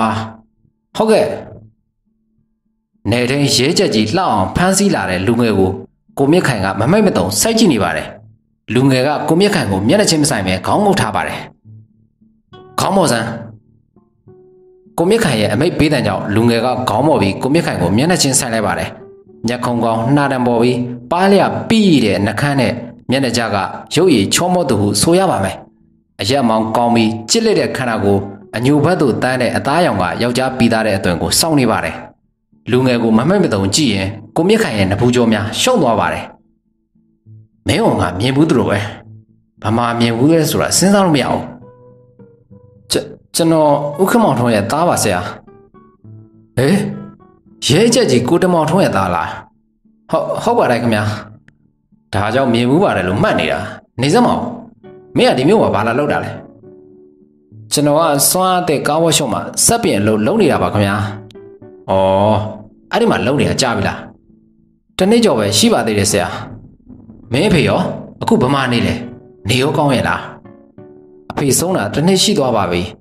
အမေကတော့တောင်တွင်းကြီးမှာကျွန်တော်အမအကြီးဆုံးနဲ့အတူနေပါတယ်ကိုခမောင်ထုံးတော်ဆုံးသွားပြီပဲမင်းရဲ့အမအကြီးဆုံးဆိုတာမြင့်မြတ်ထွန်းလားသူရောအိမ်အောင်ကြသွားပြီလားဟုတ်ပါတယ်ဆရာအမကြီးရောအမလက်ရောအိမ်အောင်ကြကုန်ပါပြီဩလှအောင် သူ့ကိုလက်ထိတ်ဖြုတ်ဝေးလိုက်သူ့အဖေကိုမင်းသိမှာမဟုတ်ဘူးသူ့အဖေလည်းမင်းလိုနေတိုင်းရဲချက်ကြီးပဲငါနဲ့အတူအောင်လာမှာတောင်းအောင်ကြခဲ့တာပေါ့ကွာကိုခမောင်ထုံးကလူတော်တယောက်ကွာသူ့လိုပဲထထချင်းချင်းနဲ့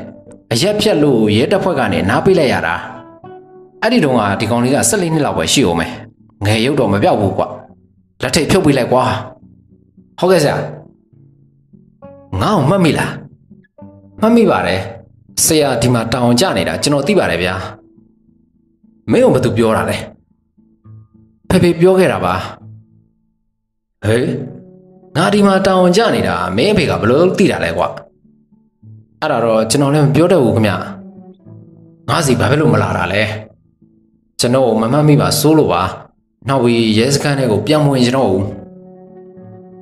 ဘာဖြစ်လို့လဲကွဖဖေကိုတတိယလောက်ပါလူငယ်လေးပြောလိုက်တဲ့စကားကြောင့်ကိုမြင့်ခိုင်ရဲ့ရှင်ထဲမှာစွန့်နစ်သွားရပါတယ် ကိုမြင့်ခိုင်ဒူရဲအိုရာတို့ဖြစ်နေတိုင်းကောင်းဆောင်တာဝန်ယူခဲ့စဉ်ကနေတိုင်းရဲကြက်ကြီးခမောင်ထုံးနဲ့အတွဲညီညီလှုပ်ရှားခဲ့ကြပူပါတယ်သဘောမနှောကောင်းတော်လဲလူမိုက်များနဲ့တွေ့ပါကလက်တံပြောင်းလုံးတဲ့ကိုခမောင်ထုံးကိုစိန်ဘိုတင့်လိုအမိပြောင်းပေးထားခဲ့ကြပါတယ်စိန်ဘိုတင့်ဆိုတဲ့အမိကြားရုံဖြစ်လူစိုးလူမိုက်များလမ်းကြပါတယ်ကိုခမောင်ထုံးကိုအဝေးကမြင်ုံနဲ့ရှောင်ကွင်းသွားတတ်ကြပါတယ်လူတော်တယောက်ဖြစ်ပါလျက်နဲ့ရက်သေးစာဖြတ်၍ပြက်ခဲ့ရပါတယ် ရဲတပ်ဖွဲ့ဝင်အဖြစ်မှထုတ်ပယ်ခြင်းခံခဲ့ရတဲ့အချိန်ကကိုခမောင်ထုံးတယောက်အတော်ခံစားခဲ့ရပါတယ်ဒါပေမဲ့လည်းသူခုံမင်းနှစ်သက်တဲ့အရက်ကိုတော့မစွန့်လွတ်နိုင်ခဲ့ပါဘူးထိုအရက်ကြောင့်ပဲလူဘဝကြီးထဲမှာစောလျင်စွာထွက်ခွာသွားခဲ့ရပုံရပါတယ်မင်းနာမည်ကိုတော့မေ့နေပြီကျော်ဝင်းထုံးပါခင်ဗျာအေးမှတ်မိပြီနေစမ်းမအောင်စံကလေးရွာကိုဘာသာလုပ်တာလဲဖြေလေကွာကျော်ဝင်းထုံးခင်ဗျာ မင်းလည်းရဲတပ်ဖွဲ့ဝင်တယောက်ရဲ့သားပဲရဲတပ်ဖွဲ့ဝင်တွေကြုံရတဲ့ဒုက္ခတွေကိုမင်းလည်းသိတဲ့တော့သိမှာပေါ့ကွာမင်းအဖေဆိုတရခံလွတ်သွားလို့အမိရလိုက်ဖန်ရတာမင်းတို့စီကို၄၅ရက်လောက်ပြန်မလာနိုင်ခဲ့တာမှတ်မိလားဟုတ်ကဲ့မှတ်မိပါတယ်တရခံသာမမိခဲ့ရင်မင်းအဖေလည်းလက်မောင်းကအရစ်ပြုတ်သွားနိုင်တယ်လို့အရေးယူခံရမယ်ဆိုတာလည်းသိမှာပေါ့ကွာသိပါတယ်ဆရာဆရာခိုင်ကျွန်တော်ရောက်ပြီစံကလေးကဥက္ကဋ္ဌပါရောက်လာပြီ โอเคကိုတောင်းတယ်ခဏလေးဗျာဥက္ကဋ္ဌကြီးခဏတော့ထိုင်အောင်ဗျာရပါတယ်ဘူကြီးဒုရဲကိုတောင်းတန်တဲ့စံကလေးကြီးပါဥက္ကဋ္ဌကိုလှမ်းပြောလိုက်ရင်ကျော်ဝင်းထုံးကိုဆက်လက်မိမ့်မြတ်လိုက်ပါတယ်ကောင်းပြီကျော်ဝင်းထုံး ငါမေးတာမှန်မှန်ဖြေစံကလေးရွာကိုဘာသာလို့တာလဲကျွန်ကျွန်တော်မကြောက်နဲ့ကြောင်ဝထုံးပြောစရာရှိတာရဲရဲတင်းသာပြောမင်းယောက်ျားမဟုတ်လား ကျွန်တော်စုကိုမတွေ့တာကြာလို့သွားကြည့်တာပါစုဆိုတာဘာလို့လဲကွာစုလက်ဝေပါဆရာဩစုလက်ဝေနဲ့မင်းကဘလို့ပတ်သက်နေလို့လဲစုကကျွန်တော်ရဲ့ချစ်သူပါဟေးဟဲ့ဟုတ်လို့လားဟုတ်ပါတယ်ဆရာကလေးမလေးကကြောင်းတက်တုံရှိသေးတယ်အသက်တောင်မပြည့်သေးဘူးမင်းက20ကျော်လောက်ရှိပြီထင်တယ်ကျွန်တော်22နှစ်ရှိပါပြီဆရာကောင်းရောကွာ မင်းတို့ကဘယ်လိုလုပ်ပြီးတွေ့ကြတာလဲစုရဲ့စပင်ကိုပြင်ပေးရင်းနဲ့ခင်မင်သွားရကနေသူ့ကိုရီးစားစကားပြောလိုက်မိတာပါဟိုကလက်ခံတယ်ပေါ့ဟုတ်ကဲ့ဆရာမင်းနဲ့ဆုလက်ဝေနဲ့ရီးစားဖြစ်တာဘယ်လောက်ကြာလဲရှစ်ရှစ်လရှိပါပြီမင်းနဲ့ဆုလက်ဝေရီးစားဖြစ်တာဘယ်သူတွေသိသေးလဲဘယ်သူမှမသိပါဘူးဆရာမင်းနဲ့ဆုလက်ဝေတို့ချစ်သူဖြစ်နေကြတာဘယ်သူမှမသိကြဘူးဆိုတော့ မင်းတို့နှစ်ယောက်တွေ့ရင်ဘယ်လိုချင်းကြတယ်ကွာမင်းတို့နှစ်ယောက်ဘယ်လိုဆက်သွယ်ကြလဲဆုနဲ့ကျွန်တော်ကစာနဲ့အဆက်အသွယ်လုပ်ပါတယ်ဟေးစာနဲ့အဆက်အသွယ်လုပ်တာဆိုတော့ဂျားတဲ့ကနေဘသူကစာပေးစာယူလုပ်တာလဲဘသူမှမလုပ်ပါဘူးသူ့စပိန်ဘဲဖုံးထဲကိုဖြုတ်ပြီးစာထည့်ပေးထားပါတယ်သူစာပေးခြင်းရင်လည်းစပိန်ဘဲဖုံးထဲမှာစာခေါက်ထည့်ထားပါတယ်ဟာတဲ့ဟုတ်ပါလားတော်တယ်ကွာ နေစမ်းမအောင်စုလက်ဝေကြောင်းတက်နေတဲ့အချိန်စပိန်ကိုဘယ်နေရာမှာအပ်ထားခဲ့လဲစုကစပိန်ကိုကျွန်တော်အလုပ်လုပ်နေတဲ့ workshop မှာပဲထားခဲ့တာပါ workshop ပိုင်ရှင်ဆရာကိုစိုးအောင်နဲ့စုကတူကြီးတော့ပါတယ်။အော်ဒီလိုကိုဒါဆိုစုလက်ဝေကသူ့ဦးလို့စီလာရင်မင်းနဲ့တွေ့တယ်ဆိုပါတော့ဟုတ်ပါတယ်ဆရာ။ကျောင်းပိတ်တဲ့ရက်တွေကျောင်းမတက်တဲ့ရက်တွေမှာဘလို့အဆက်အသွယ်လုပ်ကြလဲ။ကျောင်းပိတ်ထားပေမဲ့စုကတရက်တခါသူ့ဦးလေးစီလာပါတယ်ဆရာ။ သဘောပေါက်ပြီ။မင်းနဲ့စုလက်ဝေနဲ့ဘယ်နေ့ကနောက်ဆုံးတွေ့ခဲ့ကြတာလဲ။ပြီးခဲ့တဲ့တစ်ပတ်အင်္ဂါနေ့ကတွေ့ခဲ့ကြတာပါဆရာ။အမ်ဒီနေ့နဲ့ဆို10ရက်တောင်ရှိပြီပေါ့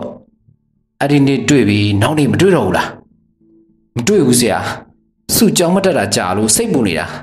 ဆရာကိုစိုးအောင်ပြောမှစုပြောင်းနေတယ်ဆိုတာသိရတာပါမင်းခိုးပြေးသွားတာလားမှန်မှန်ပြောနော်မဟုတ်ပါဘူးဆရာ ကျွန်တော် workshop မှာနေ့တိုင်းရှိပါတယ် workshop မှာပဲညအိတ်တာပါဆရာစုကကျွန်တော်ကိုထားခဲ့ပြီးတခြားတစ်ယောက်နဲ့လိုက်ပြေးသွားတယ်ထင်လို့သူ့ကိုလိုက်ရနေတာပါတခြားတစ်ယောက်နဲ့လိုက်ပြေးရအောင်စုလက်ဝေမှာမင်းအပြင်တခြားတစ်ယောက်ရှိနေတယ်လို့ထင်တာလားသိနေတာလားထင်တာပါဆရာစုကလှတော့သူ့ကိုကြိုက်တဲ့သူတွေဝမ်းဝမ်းလဲနေတာလေသူမကြိုက်ပေမဲ့ဓားထောက်ပြီးခိုးပြရင်ဘယ်လိုလုပ်မလဲကိုမြက်ခိုင်ကျော်ဝင်းထွန်းရဲ့မျက်လုံးကိုအသေးချာစိုက်ကြည့်ပြီးခေါင်းညိတ်ပြလိုက်ပါတယ် ကျော်ဝင်းထွန်းကိုလေးလာရသလောက်လိန်ညာပြောနေခြင်းမဟုတ်ကြောင်းအတွေ့အကြုံရသတိထားလိုက်မိပါတယ်။အင်းမင်းပြောတာလည်းဖြစ်နိုင်ပါတယ်။မင်းတို့နောက်ဆုံးတွေ့ခဲ့တဲ့နေရာကဘယ်နေရာလဲကွ။ဆက်သွားနဲ့စံကလေးကြားကတင်းချိုင်းနားမှာပါဆရာ။ချိန်တွေ့စရာရှားလို့ကွာ။စုလဝေဘယ်ချိန်ပြန်သွားလဲကွ။နေ့လယ်3နာရီကျော်လောက်ရှိပါပြီ။စုလဝေပြန်တော့မင်းလိုက်မပို့ဘူးလား။စုကလိုက်မပို့ဖို့ပြောလို့လိုက်မပို့တော့ဘူးဆရာ။ တယောက်ယောက်မြင်သွားလို့သူ့အဖေတိသွားရင်သူ့ကိုတတ်လိုက်မယ်လို့ပြောလို့လိုက်မပို့တော့တာပါ။စုလက်ဝေကစပိန်နဲ့လာတာလား။မဟုတ်ဘူးဆရာ။ကျွန်တော်တို့နှစ်ယောက်တွေ့ရင်စပိန်ယူမလာဘူး။စပိန်ယူလာရင်ဖွက်ထားရတာလှုပ်ရှုပ်လို့ပါ။ကောင်းပြီ။မင်းကမြို့ကိုတယောက်တည်းပြန်လာတာလား။ဟုတ်ပါတယ်ဆရာ။ဘာနဲ့ပြန်လဲ။ချေချင်းပြန်လာရင်လမ်းမှာဝင်းစတိုးဆိုင်ကဦးကြည်လင်ရဲ့ကားကိုတွေ့လို့လက်တာပြီးလမ်းကြုံလိုက်ခဲ့ပါတယ်။တေချာလားကျော်ဝင်တော့ ဦးကြည်လင်ကိုမေးကြည့်လို့မဟုတ်ဘူးဆိုရင်မင်းဒုက္ခရောက်မယ်နော်။စုလက်ဝေပျောက်နေတာနည်းနည်းထူးဆန်းနေတယ်။ဦးကြည်လင်ကိုမေးကြည့်ပါဆရာ။အဲ့ဒီနေ့ကသူ့ဆိုင်တီခေါ်သွားပြီးကိုဘူတာဆက်တလုံးကြည့်ခိုင်းလို့ကြည့်ပြီးပြီးလိုအပ်တာတွေပြင်ပြီးည10နာရီလောက်မှဝက်ရှော့ကိုပြန်ရောက်ပါတယ်။မင်းကိုမေးစရာရှိလို့ခေါ်တာကိုမင်းကဘာဖြစ်လို့ထွက်ပြေးရတာလဲကျော်ဝင်တော့ရဲမှန်ကျွန်တော်မှမသိတာယူနီဖောင်းဝတ်မထားပဲဟဲ့မပြေးနဲ့လို့អော်တော့ကျွန်တော်လည်းကြောက်ပြီးပြေးတာပါဆရာ လွယ်အိတ်ထဲကိုလည်းလက်နိုင်ထားတော့ကျွန်တော်ကိုတခုလုံးမယ်တင်လို့ပြေးတာပါတကယ်ကောင်ပဲမင်းကိုကြည့်ရတာတသက်ရှိမလို့နဲ့အတော်ကြောက်တတ်တဲ့ကောင်ပဲမင်းအဖေနဲ့မြကွာပါကွာဆရာကြီးထုံးစံအတိုင်းကျော်ဝန်ထုံးစီကလိုအပ်တဲ့အချက်လက်တွေယူထားလိုက်ပြီးပြန်လွတ်လိုက်ပါဟုတ်ကဲ့ခင်ဗျကျော်ဝန်ထုံးမင်းဘယ်ကိုမှမသွားနဲ့အရေးကြီးသွားစရာလာစရာရှိရင်ငါ့ကိုလာပြောငါနဲ့မတွေ့ရင်တာဝန်မှုကိုသတင်းပို့ပြီးမှသွားပါ ငါတို့လိုအပ်ရင်မင်းကိုခေါ်ပြီးမေးမယ်ဟုတ်ဟုတ်ကဲ့ဆရာတာဝန်မှုကိုလိုအပ်တင်များမှားကြပြီးနောက်စကန်လုံကျော်ရေးကိုစစ်စီကအိမ်သို့ပြန်လာခဲ့ပါတယ်မကြမ်းမမာဖြစ်နေတဲ့မိခင်ကိုတွားရောက်ပြုစုပေးနေတဲ့ဇနီးတဲ့ပြန်မလာနိုင်သေးသဖြင့်ထမင်းဆိုင်တွင်သာစားတော့နေရပါတယ်ဒီနေ့မှာတော့ထမင်းဆိုင်မှာစားတော့ရင်ကျော်ဝင်းထွန်းအတွက်ညစာထမင်းတစ်ပွဲပါဆယ်ဆွဲခဲ့ရပါတယ်ကျော်ဝင်းထွန်းရဲ့ဖခင်ကိုခမောင်ထွန်းကဝါရဲ့ရဲဝန်ထမ်းတဦးဖြစ်ပြီးရဲလုပ်ငန်းကိုကျွမ်းကျင်သူလည်းဖြစ်တဲ့အတွက် ကိုခမောင်ထွန်းနဲ့လက်တွဲလုပ်ကင်ရင်လေးလာတင်ယူခဲ့ရသည်များလည်းရှိခဲ့ပါတယ်ကိုခမောင်ထွန်းနဲ့ပြန်လဲစုံတွေ့ကဂျေစုဆက်ချင်ပါတော့လဲဂျေစုဆက်ခွင့်မကြုံကြိုက်တော့ပါဘူးမိတို့ပင်ဂျေစုရှိစေကျော်ဝင်းထွန်းသာအပြစ်ကျူးလွန်ခဲ့ပါကကိုခမောင်ထွန်းရဲ့မျက်နှာကိုကြည့်စရာမလိုပဲပြက်ပြက်တသားအေးအေးရပါလိမ့်မယ်ထို့သောအေးအေးခြင်းကိုလည်းရဲဝင်ထံကောင်းပြီးသားတဲ့ကိုခမောင်ထွန်းတယောက်ရောက်ရဘဝမှာနားလေခွင့်လွှတ်နိုင်လိမ့်မယ်လို့ကိုမြင့်ခိုင်ယုံကြည်ပါတယ်ပလက်ကလထိုင်နဲ့ထိုင်က ထမင်းလုံးစီရင်ဆုလက်ဝေပျောက်ဆုံးနေခြင်းကိုသုံးသပ်နေမိပါတယ်ဆုလက်ဝေကအသက်မပြည့်သေးတော့လဲစူဖြိုးစွန့်ကားတဲ့ခန္ဓာကိုယ်ကပုရိသတို့ရဲ့စိတ်ကိုနှိုးဆွစေနိုင်တဲ့ဖြင့်အန္တရာယ်ကိုဖိတ်ခေါ်နေတယ်လို့ဖြစ်နေပါတယ်ဆုလက်ဝေနဲ့ကြုံဝင်းထုံတို့ချင်းတွေ့ခဲ့ကြပြီဆုလက်ဝေအိမ်ပြန်မရောက်ပဲဘယ်နေရာကိုထွက်သွားခဲ့ရတာလဲဆက်သွားတဲ့ဆန်းကလေးရွာအနောက်ဘက်ရှိလမ်းကကြမ်းတမ်းပြီးလူသွားလူလာပြတ်တက်ပါတယ်နမဲကျော်တုတ်တန်ကလည်းရှိနေတဲ့အတွက်အာတုဘချရန်အတွက်သာအသုံးပြုရုံမှလွယ်ပြီးထိုလမ်းကိုဖျက်ခွင့်သူမရှိတလောက်ပါ ကျော်ဝင်းထုံးနဲ့ဆုလက်ဝေတို့နှစ်ယောက်လူငယ်တဘာဝချင်းတွေးကြတဲ့ဆိုရမှာထိုနေရာမှာချင်းတွေးကြခြင်းမှာရိုးရိုးသားသားချင်းတွေးကြခြင်းဟုတ်ချင်မှလည်းဟုတ်ပါလိမ့်မယ်ကျော်ဝင်းထုံးနဲ့ဆုလက်ဝေတို့ကအဆင့်ကြော်ခဲလောက်ပြီဟုလဲကိုမြင့်ခိုင်တွေးဆမိလိုက်ပါတယ်ဒါဆိုရင်ဘယ်ချိန်ကလေးကအဆင့်ကြော်လာခဲ့တာကိုလည်းထည့်စင်စားရပါလိမ့်မယ်ကိုလေးလက်ဝန်ရှိနေတဲ့ဖြင့်ကျော်ဝင်းထွန်းကတာဝန်မယူနိုင်သောကြောင့်တေချောင်းကြံ့စီနိုင်သလိုမိဘဆွေမျိုးများနဲ့ပတ်ဝန်းကျင်ကိုရင်မဆိုင်ရဲသောကြောင့်တခြားနေရာတစ်ခုခုမှာပုံးရှောင်နေခြင်းနဲ့ဖြစ်နိုင်ပါတယ်။ ဒါမှမဟုတ်ကိုဝန်ကိုတာဝန်ယူခိုင်းတော်လဲတာဝန်မယူသဖြင့်စကားများကြပြီးကျော်ဝင်းထွန်းကတပ်ပစ်ခြင်းတပ်ပစ်နိုင်ပါတယ်။ကျော်ဝင်းထွန်းကိုစစ်မေးနေတဲ့အချိန်မှာလေးလာကြည့်ရတဲ့လောက်ကျော်ဝင်းထွန်းကအမူအရာပြည့်ရွံ့ခြင်းမရှိဘဲတည်တည်ငြိမ်ငြိမ်ဖြစ်ဖြည့်ဆူးနိုင်ပါတယ်။ဒါကလည်းရဲဝန်ထမ်းရဲ့သားသမီးဖြစ်တဲ့အတွက်အတွေ့အကြုံနဲ့ဖခင်ထံမှကြားနာသိမှုကြောင့်လည်းဖြစ်နိုင်ပါတယ်။စုလက်ဝေမြည်သည့်နေရာမှာပုံရှောင်နေသည်ကိုအမြန်ဆုံးသိရဖို့အရေးကြီးပါတယ်။လူပြောက်တိုင်ကြားထားတဲ့အမှုမှာအမှုကြီးတစ်ခုအဖြစ်သို့ပြောင်းလဲသွားမှာကိုတော့ကိုမြင့်ခိုင်စိတ်ပူနေမိပါတယ်။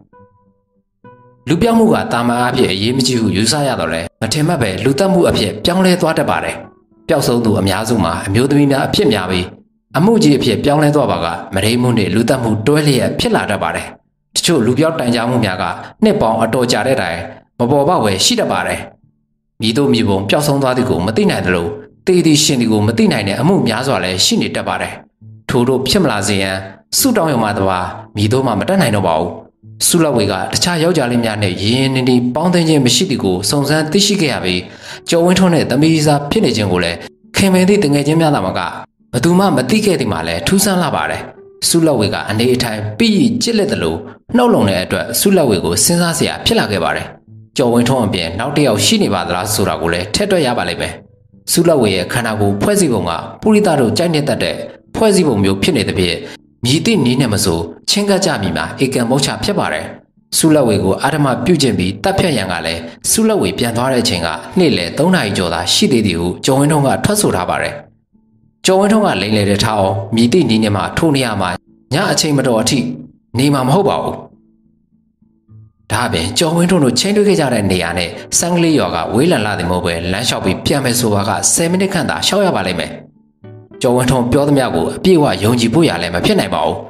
ချစ်ခင်စုံမ၍လက်ထပ်ပေါင်းသင်းကသားသမီးများရပြီးမှစကားများကြပြီးစိတ်လိုလိုက်ကဒေါသမထိန်နိုင်ပဲလင်ကမယားကိုတတ်မယားကလင်ကိုတတ်ခဲ့တဲ့အမှုများကိုလည်းကြုံတွေ့ခဲ့ရဘူးပါတယ်။သမီးကြီးစားခြင်းစကားများပြီးလက်လွန်ခြေလွန်ဖြစ်နိုင်တယ်လို့တတ်အပ်ပြောရင်မရနိုင်ပါဘူး။ဤသို့ပင်ဖြစ်စေကျော်ဝင်းထုံးနဲ့ဆုလက်တို့ချင်းတွေ့ခဲ့ကြတဲ့နေရာကိုတွားရောက်စစ်ဆေးကြည့်ရမယ်လို့ဆုံးဖြတ်လိုက်ပါတော့တယ်။ဟာ ဆုလက်ဝေနေတူတူမှုပါလားဟာ။ဟမ်နောက်ဘေးကဘာတန်လဲ။ကြောင်တက်ပြီးမှုပြန်ပြီးနဲ့တူတယ်။ပလက်ကလက်ထိုင်မှာထိုင်နေရမှထားလိုက်ပြီးအိမ်နောက်ဖေးသို့သွားမယ်ပြုတ်စင်မှာအိမ်ရှိစပွဲပေါ်တင်ထားတဲ့စပွဲတဲ့နိုင်ကအလိုလိုရွေ့လျာကပြုတ်ကျသွားတာကိုအံ့ဩစွာမြင်တွေ့လိုက်ရပါတော့တယ်။ ည7နာရီကျော်သည့်တိုင်ပြန်မရောက်သေးတဲ့သားဖြစ်သူပြန်လာကိုစောက်ရင်အိမ်ရှိကမှလဲလျောင်းနေတဲ့ဦးကောင်းဆန်ရဲ့မျက်လုံးထဲမှာစုလက်ဝေရဲ့စုဖြိုးတဲ့ခန္ဓာကိုယ်အလှကိုပြန်မရောက်နေပါတယ်။စုလက်ဝေရဲ့ခန္ဓာကိုယ်ပေါ်မှာအကာအကွယ်မဲ့နေတဲ့ဖုံးကွယ်အပ်တဲ့အရာများကိုပြန်မြင်အောင်မိတိုင်းဦးကောင်းဆန်နေမထိထိုင်မတာဖြစ်နေမိပါတယ်ဇနီးတဲ့မရှိတော့တဲ့နောက်အိမ်အောင်ထပ်မပြုတ်တော့ပဲဖရာတရားအလုပ်ကိုသာဒီဇိုင်းမမတ်လုပ်နေရင်စေကုသကကုသိုလ်ပြုနေတဲ့ဦးကောင်းဆန်တယောက် ဆုလက်ဝေရဲ့မိမွေတိုင်းဖမွေတိုင်းခန္ဓာကိုယ်ကိုမြင်တွေ့လိုက်ရတဲ့အခါတရားဘာဝနာပြက်ကတဏှာအာသာငန်းငန်းတက်ခဲ့ရပါတော့တယ်။စောင့်စည်းထိမ့်သိမ်းထားခဲ့သမျှဖွင့်အံချလိုက်ခြင်းတဲ့ဆန္ဒကြောင့်သွေးပွက်ပွက်ဆူခဲ့ရပါတယ်။ဆုလက်ဝေရဲ့အကွေ့အကောက်အမိုးမောင်များကိုပြန်စဉ်းစားမိတိုင်းရမတ်နိုးထလာတတ်ပါတယ်။ဘာတူလဲ။တားလား စိတ်ကူးရင်ကောင်းနေတဲ့အချိန်မှာအိမ်အောက်မှနေ၍ကြမ်းခင်းကိုတစုံတစ်ခုပြထိုးလိုက်တဲ့အတန်ကြောင့်ဦးကောင်းဆန်လှမ်းမိတ်လိုက်ပါတယ်။ဘာတူလဲလို့မေးနေတယ်လေ။နောက်ထပ်တစ်ချိန်ကြမ်းခင်းကိုတစုံတစ်ခုပြစောက်ထုတ်လိုက်တဲ့အတန်ကိုကြားလိုက်ရသဖြင့်အိမ်ရှိခန်းမှာလှဲနေရမှာအမြန်ထကအိမ်အောက်ထပ်သို့ပြေးဆင်းသွားပါတော့တယ်။အိမ်အောက်ထပ်မှာမဲမောင်နေပြီးဘသူမှမရှိသဖြင့်အိမ်ပေါ်ထပ်သို့တက်ရန်ဟန်ပြင်လိုက်စမှာအမျိုးသမီးတယောက်ခေါ်နေတဲ့အကိုအတိုင်းသာကြားလိုက်ရသဖြင့်စက်သိမ်ပွင့်ချင်းများထသွားပါတော့တယ်။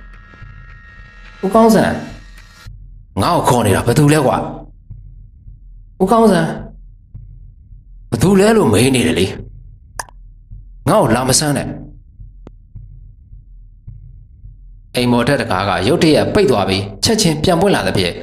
ဦးကောင်းစံအိမ်ပေါ်တက်သို့လှမ်းကြည့်လိုက်ပါတယ်တကားဝါမှာရက်နေတဲ့သပင်ဖားလျာချထားတဲ့အမျိုးသမီးတယောက်ကိုမြင်တွေ့လိုက်ရတဲ့အခါနှထင်တရေများထူပူပြီးသပင်ပွေးများထောင်ထကခေါင်းနှပန်းကြီးသွားပါတော့တယ် ဦးကောင်းစံငါနာမည်ပခေါ်နဲ့အရင်ပေါ်တက်လှေကားမှဆင်းလာနေတဲ့သပင်ဖားရနဲ့အမျိုးသမီးကိုမြင်တွေ့လိုက်ရတဲ့အခါမှာတော့ခြံဝင်းထဲမှာအပြင်သို့ပြေးထွက်သွားပါတော့တယ်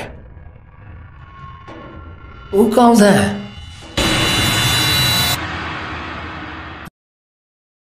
လောက်အောင်ပါဆရာ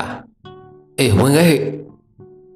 နိုင်ရန်ကိုအသာခောက်ပြီးဝင်ခွင့်တောင်းနေတဲ့ နေတဲ့ရဲချက်ကြီးလှအောင်ဟာကိုမြင့်ခိုင်ကဝင်ခွင့်ပြုတ်လိုက်တဲ့ဖြစ်နေတဲ့ရဲချက်ကြီးလှအောင်အခန်းထဲသို့ခတ်တက်တော့ဝင်လာပြီးကိုမြင့်ခိုင်ကိုတတိဆွဲအလေးပြုတ်လိုက်ပါတယ်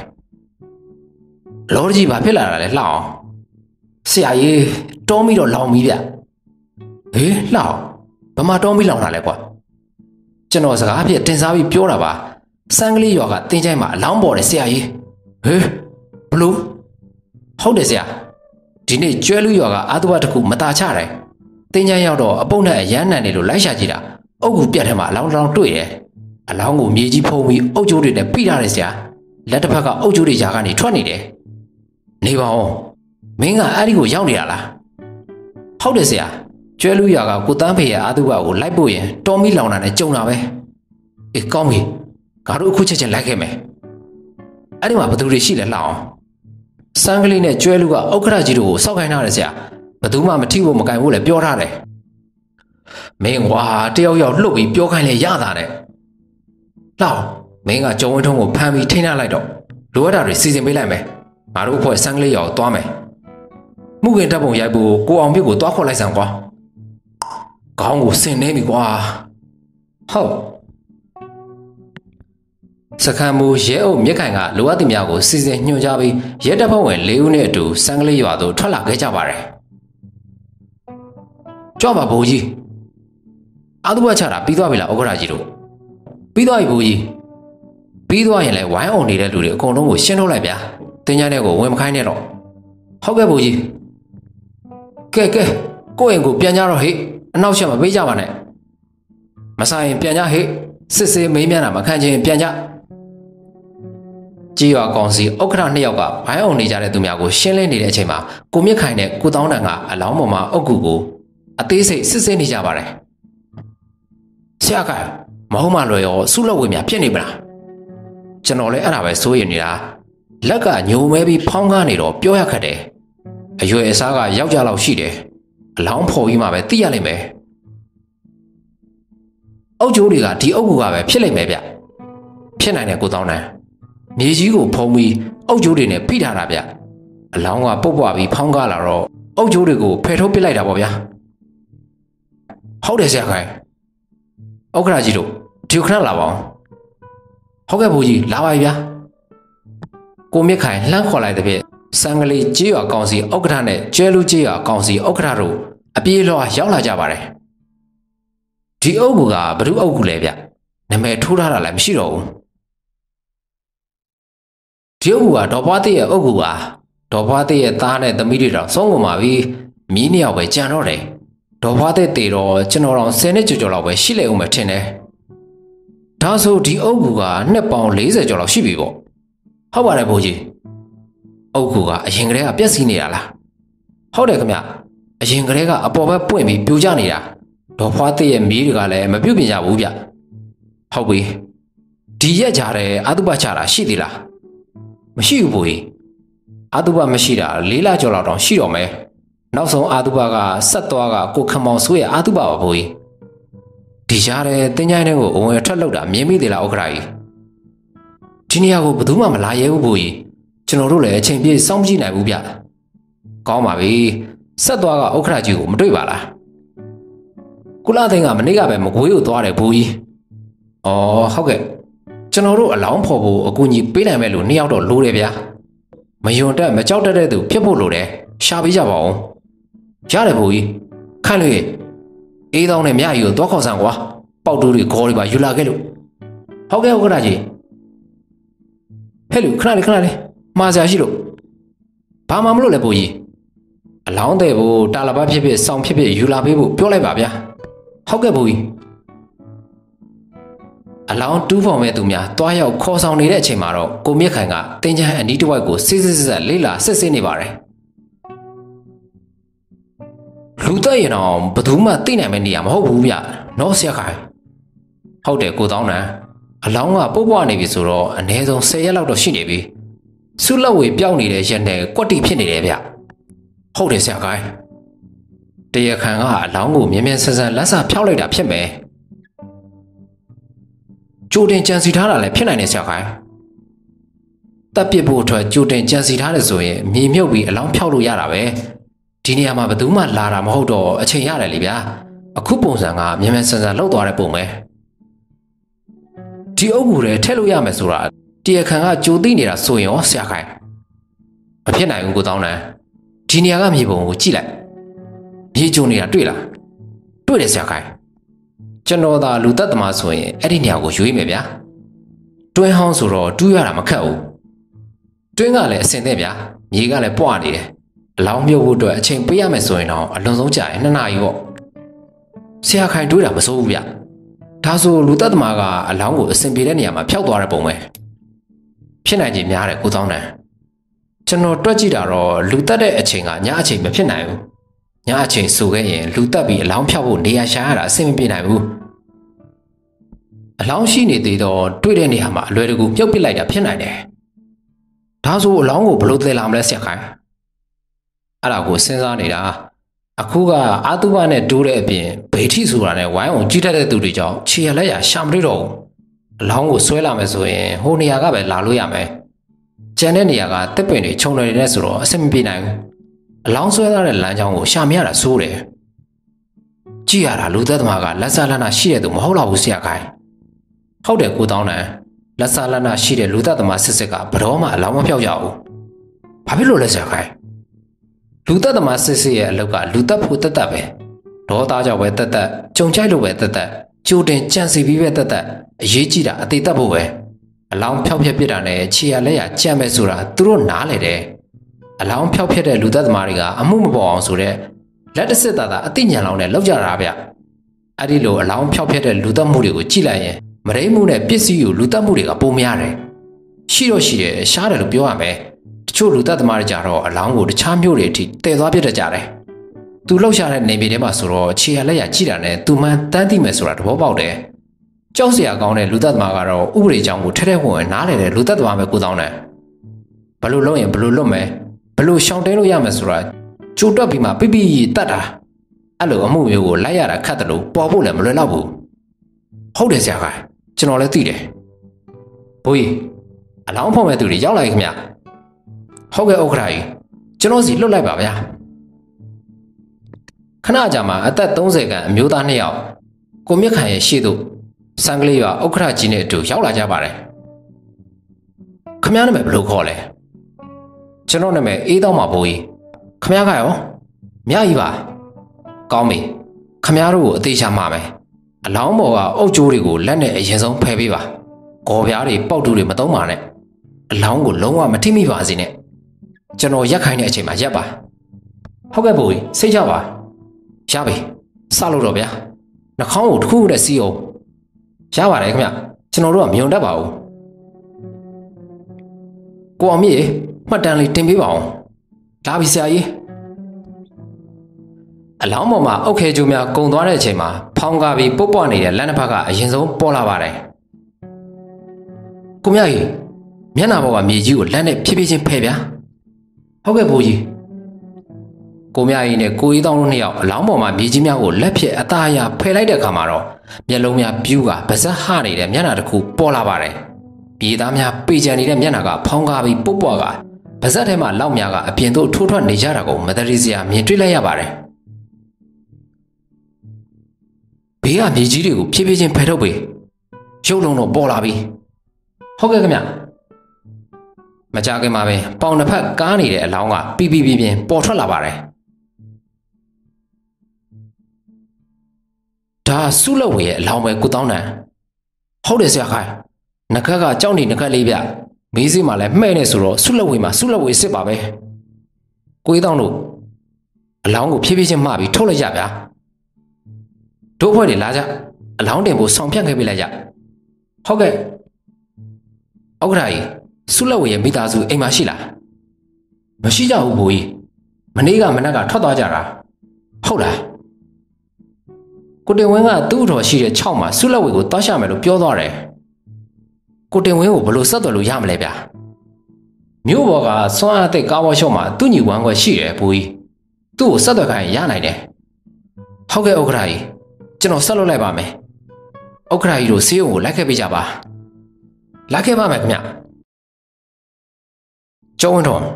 မင်းနဲ့ဆုလက်ဝေတို့တွေ့ခဲ့ကြတာဘယ်နေရာလဲကွာဦးနာကခြုံထဲမှာပါဆရာငါ့ကိုလိုက်ပြစမ်းဟုတ်ကဲ့ကျော်ဝင်းထုံးကိုလက်ထိတ်မခတ်ချင်တော့လဲခတ်ထားရပါတယ်ကျော်ဝင်းထုံးကတရခန်စစ်စစ်ဖြစ်ခဲ့ပါလေထွက်ပြေးသွားပါကအထောင်းခံရပါလိမ့်မယ်အခက်မသက်လျင်အရေးယူခံရနိုင်ပါတယ်ကျော်ဝင်းထုံးညွန့်ပြတဲ့နေရာသို့ရောက်တဲ့အခါမြေပြင်အနေထားကိုလေ့လာကြည့်လိုက်ပါတယ်အလျားရှိပေ အနံ9ပေတတကရှိတဲ့မြေကွက်လက်အားခြုံလွယ်များနဲ့နေကြရိုင်းများကွယ်နေသဖြင့်ထိုနေရာကိုအပြင်မှကောင်းကောင်းမြင်ရမှာမဟုတ်ပါဘူးထိုနေရာကချစ်သူတို့လွတ်လွတ်လပ်လပ်ချစ်တဲ့နှိုးရနိုင်တဲ့အနေအထားဖြစ်နေပါတယ်ဒီနေရာကိုမင်းဘယ်လိုလုပ်ပြီးသိနေတာလဲကျုံဝထုံးဆက်သွားရကအတိတယောက်အတုပလိုက်ဖို့တော့ကဒီနေရာကိုမြင်ခဲ့တာပါဆရာဆက်သွားရကဘသူတည်လို့လိုက်ဖို့လာလဲဥမမောင်ဆိုးပါဆရာကိုမောင်ဆိုးတည်တာဘယ်တော့မှလဲ ကြပြီခမ၃လေးလလောက်တော့ရှိမယ်ထင်တယ်ကိုမောင်မောင်ဆိုးနဲ့မင်းနဲ့ဘလို့ပတ်သက်လို့လဲဥမမောင်ဆိုးကကိုင်းမောင်းနေဆရာသူ့ကားကိုပြင်ပေးနေရင်းနှီးခဲ့တာပါမင်းကဒီနေရာကိုအသုံးချဖို့အကြံရှိခဲ့တာပေါ့မဟုတ်ပါဘူးဆရာတစ်ချိန်ချင်းလိုအပ်ရင်သုံးဖို့ဆိုပြီးရှာထားတာပါတဲဟုတ်ပါလားကွာမင်းကအကြံရှိပြီးသားပေါ့ဟုတ်လားကြောင်းမတော်တခြားနေရာတွေလည်းရှိပါတယ်ကွာ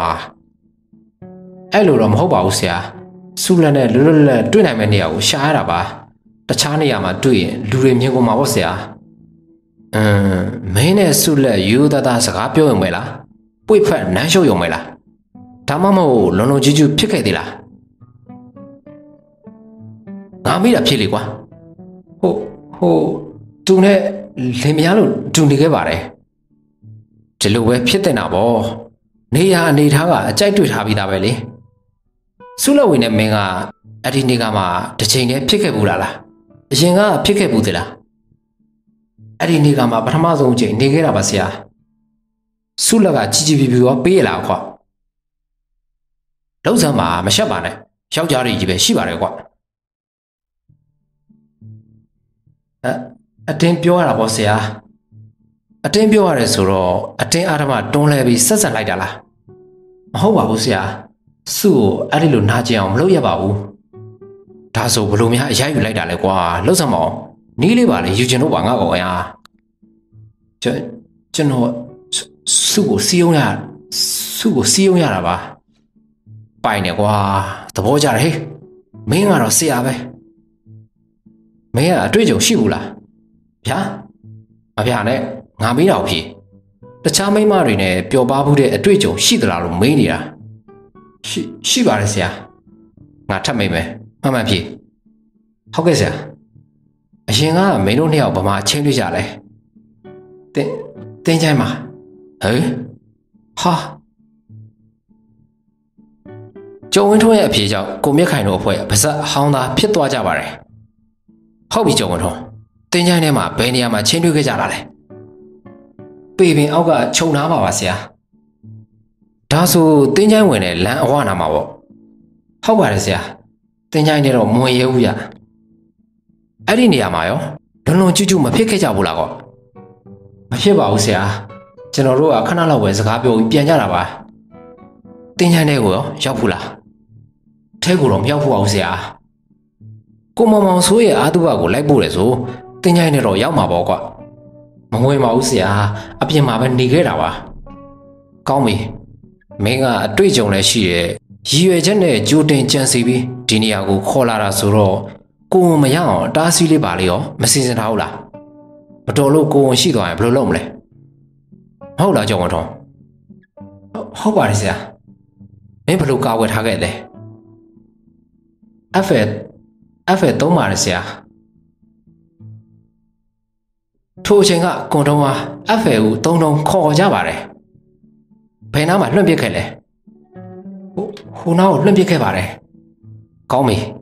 ကိုတောင်းနန်နဲ့လှအောင်ကသူ့ကိုခေါ်သွားပြီး FL လိုက်ရှာဗျာဥက္ကဋ္ဌကြီးနဲ့အဖွဲ့ကတက်တေအဖြစ်လိုက်သွားပြီးကြပါကိုအောင်မြင့်ကတက်တေကံပစ္စည်းရှာဖွေနေတာတွေကိုမှတ်တမ်းတင်ဓာတ်ပုံရိုက်ပေးပါကျွန်တော်ဒီနေရာတစ်ဝိုက်မှာစစ်စစ်လိုက်အောင်မယ်ဟုတ်ကဲ့ဆရာကဟဲ့အောင်လာခဲ့ရောက်ဟုတ်ဟုတ်ကဲ့ မြေပြင်ပေါ်နဲ့အနီးတစ်ဝိုက်ကိုအသေးစိတ်စစ်ဆေးနေတဲ့အချိန်မှာကိုတောင်းနန်တို့အဖွဲ့ကတက်တေကံပစ္စည်းကိုရှာဖွေနေကြပါတယ်ခဏအကြာမှာတက်တေကံပစ္စည်းနဲ့အတူပြန်ရောက်လာကြပါတယ်တွေ့ပြီလားဗျတွေ့ပြီဆရာလှုပ်ထုံလုံးနေတိုင်းရှာဖွေပုံစံနဲ့တိမ့်လိုက်ဗျာကိုအောင်မြင့်ဒီနေရာကိုဓာတ်ပုံရိုက်ပြပါအောင်ဗျာထုံးစံအတိုင်းဘတ်စုံတောက်စုံကရိုက်ဗျာဟုတ်ကဲ့ဘူကြီးစိတ်ချပါကိုမြင့်ခိုင်ကမျက်နှာငယ်ပြကြည့်နေတဲ့ကျုံဝင်းထွန်းရဲ့ပခုံးကိုအသာပုတ်ကနှစ်သိမ့်လိုက်ပါတယ် ငါတို့ကလှုပ်ရုပ်လှုပ်စင်တိုင်းလုံနေတာပါမင်းကိုတရားခံအဖြစ်မတတ်မှတ်သေးပါဘူးတရားခံအစစ်မှန်ပေါ်ရင်မင်းကိုလွတ်ပေးမှာပါမင်းကိုတနာပဲမဲ့ဥပဒေကဥပဒေပဲကွာရဲအလုပ်ရဲလုပ်ရမှာပေါ့မျက်နှာလိုက်လို့မရဘူးဟုတ်ဟုတ်ကဲ့ပါဆရာကျွန်တော်နားလဲပါတယ်သမီးကိုကူညီပါအောင်မင်းကဘာလုပ်လဲသမီးဆုလဝေပါဟမ် မင်းဆုလဝေမဟုတ်ဘူးထင်တယ်မင်းကိုတက်တက်ကိုဝဲမမြင်ရဘူးကွာမှုံဝါးဝါဖြစ်နေတယ်သမီးဆုလဝေအစ်စ်ပါသမီးကိုကူညီပါအောင်ဦးရဲ့ကောင်းပြီလေငါကဘယ်လိုကူညီပေးရမှာလဲသမီးကိုတတ်တာသမီးရဲ့ချစ်သူကိုကျော်ဝင်းထုံမဟုတ်ဘူးဟမ်မင်းကိုဘယ်သူတတ်တာလဲဦးကောင်းစံဘလို့ဟုတ်ပါတယ်ဦးသမီးကိုဦးကောင်းစံတတ်တာပါမဟုတ်တာမပြောပါနဲ့ဆုလောက်ဝေး ဆရာကောင်းကလူကြီးလူကောင်းတယောက်ပါသမီးမညာပါဘူးသမီးကိုတတ်တာသူ့ပါသူ့ကိုဖမ်းပေးပါဦးရဲ့မင်းကို तू ကတတ်ရအောင်မင်းနဲ့ तू ကဘာဆိုင်လို့လဲဘလို့ပတ်သက်လို့လဲသမီးကိုသမီးကို तू တတ်ခဲ့တာပါဟာမဖြစ်နိုင်ဘူးကလေးမမဟုတ်တာမပြောစမ်းပါနဲ့ကွာသမီးပြောတာဥဒကမယုံဘူးလားမယုံဆရာကောင်းကအဲ့လိုလုံးမဲ့လူမျိုးမဟုတ်ဘူးကွာပြီးတော့လေ နောက်မှသမီးရဲ့အဆိုးမဆိုးနဲ့အောင်မမင်းကဘာလို့ရှင်သေးလို့တော့သမီးရဲ့ချစ်သူကိုကျော်ဝင်းထုံးကိုလည်းဖမ်းထားတယ်အပြစ်ရှိတဲ့ဦးကောင်းဆန်းကိုလည်းဖမ်းပေးဖို့လာပြောတော့ဦးကမယုံဘူးမဟုတ်လားဆုလဝေငါကရဲတပ်ဖွဲ့ဝင်တယောက်ကွာငါအလုပ်ကိုငါလုပ်နေတာထင်ချင်းနဲ့ရန်တမ်းပြီးဖမ်းလို့မရဘူးမင်းကိုဦးကောင်းဆန်းတတ်တာမှန်ခဲ့ရင်တတ်တည်အထောက်ထားပြဦးကောင်းဆန်းကိုဖမ်းပေးမယ်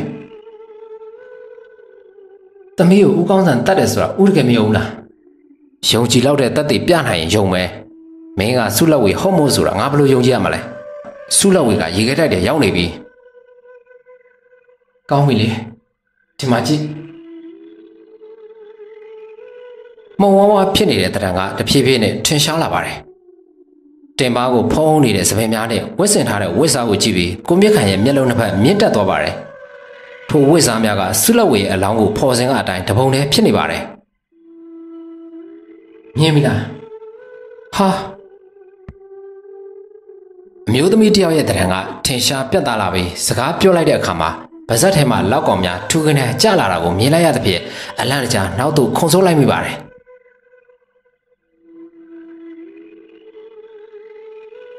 ကိုမြက်ခိုင်အလူးလဲထပြီးအတိကိုပြန်လဲစူးစီးလိုက်မိတဲ့အခါမှာတော့ဂရင်ပေါ်မှာပြုတ်ချခြင်းဖြစ်ကြောင်းသိလိုက်ရပါတယ်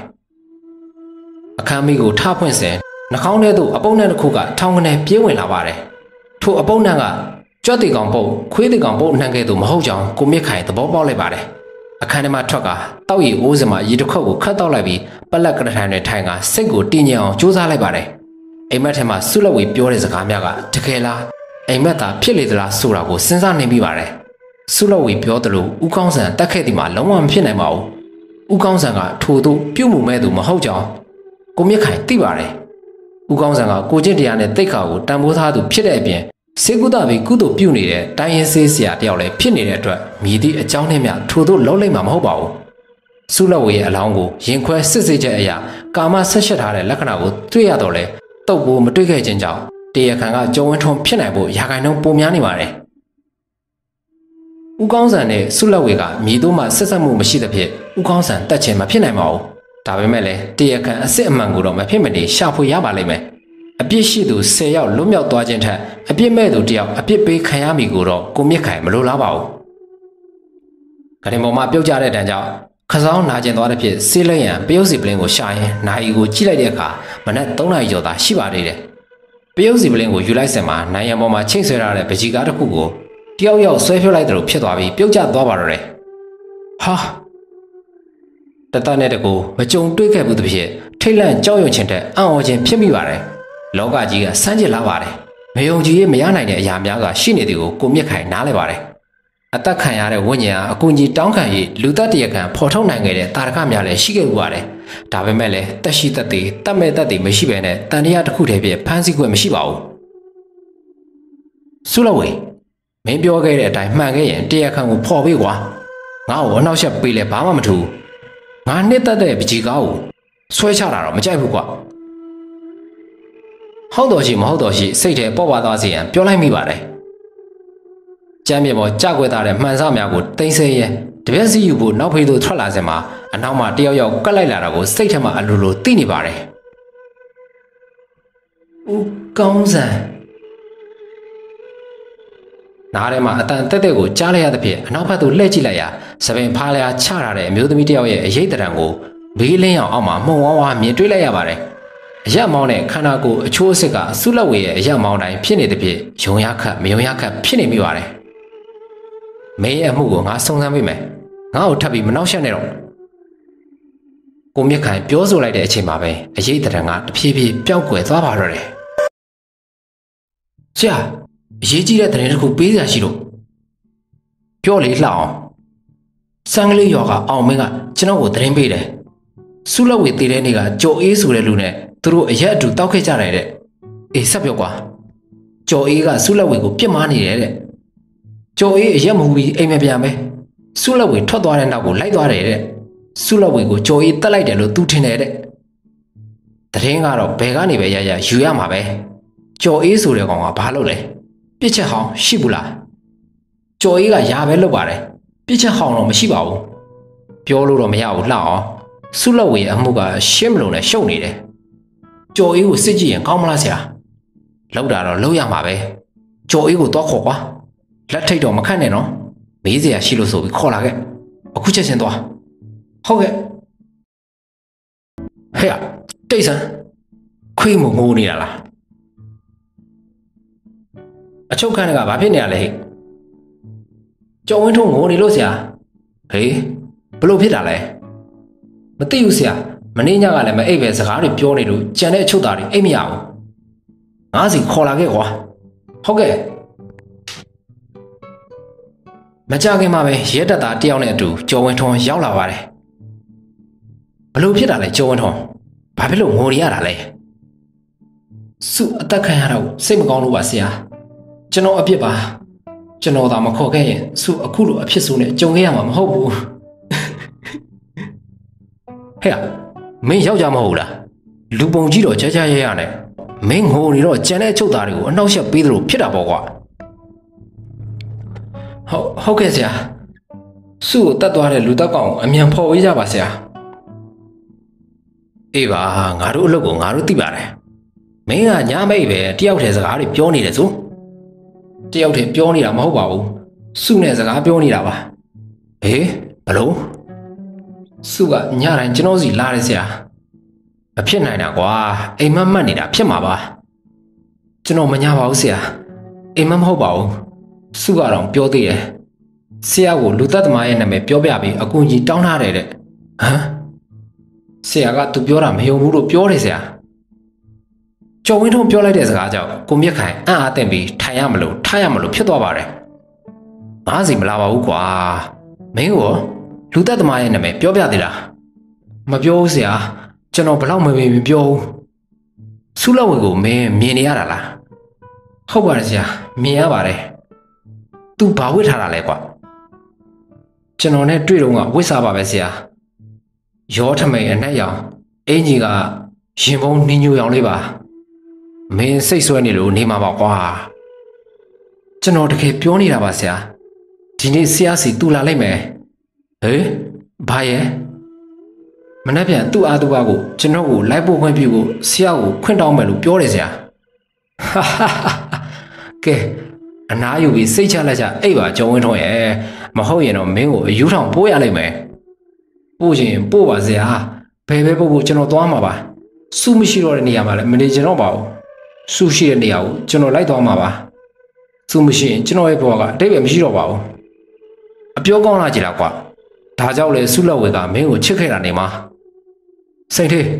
သူ့ကိုအချုပ်ခံနဲ့ပြန်ထည့်လိုက်ဟုတ်ဟောဒီပါဆရာရောက်လာပါပြီ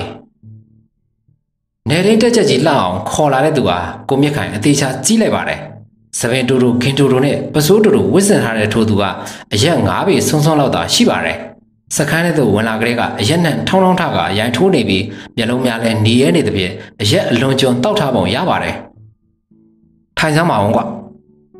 ကျွန်တော်ဘာဖြစ်လို့ဖမ်းလာတာလဲ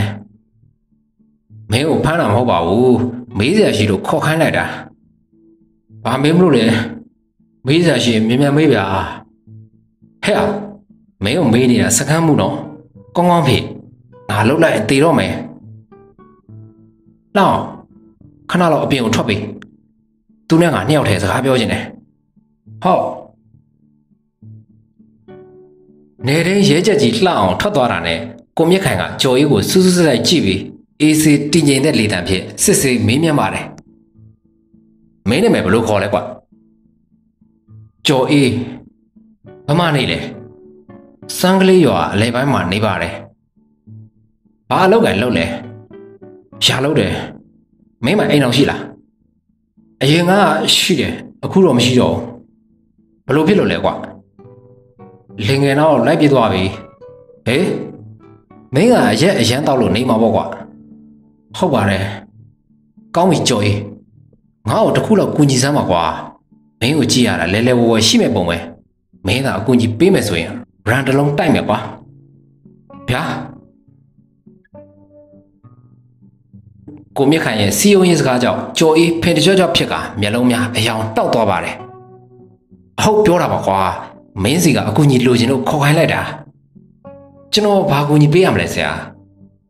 မင်းတို့ရွာကစုလက်ဝေကိုတိမှာပေါ့တိတာပေါ့ဆရာသူအသက်ခံရတာကိုကျွန်တော်စိတ်မကောင်းဖြစ်နေတာမင်းကစိတ်မကောင်းရုံသာဖြစ်တာငါကနှမျောနေတာကွာမင်းကွာစုလက်ဝေကရေစင်ကားကြီးကွာကြမ်းခံရေစင်ကားကြီး ဟုတ်ဟုတ်တယ်ဆရာဆရာနဲ့ကျွန်တော်အကြိုက်ချင်းတူသွားပြီကျွန်တော်လည်းအဲ့ဒီလိုအိုးကောင်းကောင်းထောင်ကောင်းကောင်းမှကြိုက်တာဗျဟုတ်လားငါကရဲဖြစ်နေလို့အောက်ကြီးနေရတာရဲတာမဟုတ်လို့ကတော့ဖြစ်ချင်ရဖြစ်ဆိုပြီးဆုလက်ဝေကိုလုံးမိလိုက်မယ်ဟာအဲ့ဒါတော့မလုံးနဲ့ဆရာထောင်ကြလိုက်မယ်ကြားစမ်းပါစေကွာသက်တကြုံကြလဲခန့်မယ်မင်းကွာဒီလောက်တောက်တဲ့ဖြောက်တဲ့ဟာကိုကိုမစားရပဲသူများစားသွားရင်ဘလောက်ရင်နာဖို့ကောင်းလဲ ဟုတ်တယ်နော်ဆရာကျွန်တော်လဲသူ့ကိုကြည့်ပြီးပြစ်မှားနေတာကြာပြီကြော်အေးရာကိုရွာကတောက်ရီကိုတခြားရွာကလာခတ်တာတော့လက်ခံတယ်ကွကိုရွာကမိန်းကလေးကိုတခြားရွာကလာစားသွားတာတော့လက်မခံဘူးဖိတ်ချင်းဖိတ်ကိုအိတ်တဲ့ဖိတ်ရမှာပေါ့ကွမဟုတ်ဘူးလားဟုတ်တော့ဟုတ်တာပေါ့ဆရာဒါပေမဲ့ဆုလက်ဝေကိုချင်းကပ်ဖို့ဆိုတာမလွယ်ဘူးဗျ။ "तू ကကျွန်တော်လောက်တော့အသာလေးပဲကိုင်းပေါက်သွားလိမ့်မယ်။ကျကြော်အေးရာယောက်ျားပဲလက်သီးနဲ့တစ်ချက်ထိုးရင်ဘာခံနိုင်တာမှလို့ မလုပ်ပါနဲ့ဆရာရဲ့ကျွန်တော်ကအရက်မူရင်ကိုယ့်မိမတော့စိတ်မရှိပါဘူးပါဇက်ပြောပဲရှိရပါဒါကြောင့်ကျွန်တော်မိမလင်ငယ်နောက်လိုက်သွားတာပေါ့ဗျာဟာဟာဟာမင်းကအရက်အလွန်ကျော်တောက်လို့နေမှာပေါ့ကွာမင်းကိုယ့်မိမထက်တာတဲ့သူဆိုရင်စိတ်ဝင်စားဘူးလားစိတ်တော့ပါတာပေါ့ဆရာရဲ့စိတ်ပါပဲမဲ့လူကအလုံးသိမ့်မဖြစ်တော့ပါဘူးစိတ်နဲ့ပြစ်မှာပြီးအံပဲကြိတ်နေရတာပါဟာဟာဟာငါသဘောပေါက်ပြီကြော်ကြီး စုလောက်ဝေတည်တဲ့နေ့ကမင်းဘာမှရှိတယ်အမ်ကျွန်တော်နဲ့အောင်မင်းတို့အရက်တောက်နေကြတယ်ဆရာဘာမှတောက်ကြတာလဲအောင်မင်းရဲ့အိမ်မှာပဲတောက်ကြတာပါအောင်မင်းရဲ့အိမ်ကဘယ်နားမှာလဲကြော်ကြီးအောင်မင်းအိမ်ကရွာအနောက်ဘက်မှာပါဒါဆိုတင်းချိုင်းကိုသွားတယ်ဖြက်လန်းနဲ့နီးတာပေါ့ဟုတ်တယ်ဆရာအဲ့ဒီနေ့ကစုလက်ဝေကိုမြင်လိုက်သေးလား မြင်တာပေါ့ဆရာရဲ့စုလက်ဝေရဲ့တင်ပါကြီးတွေကိုကြည့်ပြီးပြစ်မလိုက်မိသေးတယ်ဟေးဟုတ်လားစုလက်ဝေကဘယ်ကိုသွားတာလဲကွာအဲ့ဒါတော့မသိဘူးဆရာအောင်မင်းရဲ့အိမ်ရှိကဖြတ်သွားတာတော့ဘယ်လမ်းကိုသွားတာလဲကျော်ကြီးအဲ့လည်းမသိဘူးဆရာကျွန်တော်ထင်တာရွာနောက်ပိုင်းကသူ့တငယ်ချင်းစီသွားတာဖြစ်မှာပေါ့သူတယောက်ထဲလားဟုတ်တယ်ဆရာဘယ်ချိန်လောက်ဖြစ်မလဲခက်မှန်းကြည့်ပေါ့ကွာနေ့လယ်ပိုင်းလောက်ပဲဆရာ အချိန်တော့ကျွန်တော်လည်းမသိဘူးစပိန်တွေပါလေပါသေးလားကျော်ကြီးမပါဘူးဆရာအုတ်ထုတ်ဆောင်ပြီးရှောက်သွားတာပဲမြင်လိုက်တယ်အုတ်ထုတ်ကဘယ်လိုပုံစံမျိုးလဲရှာထိုးအုတ်ထုတ်အနီအောင်လေးပါဆရာ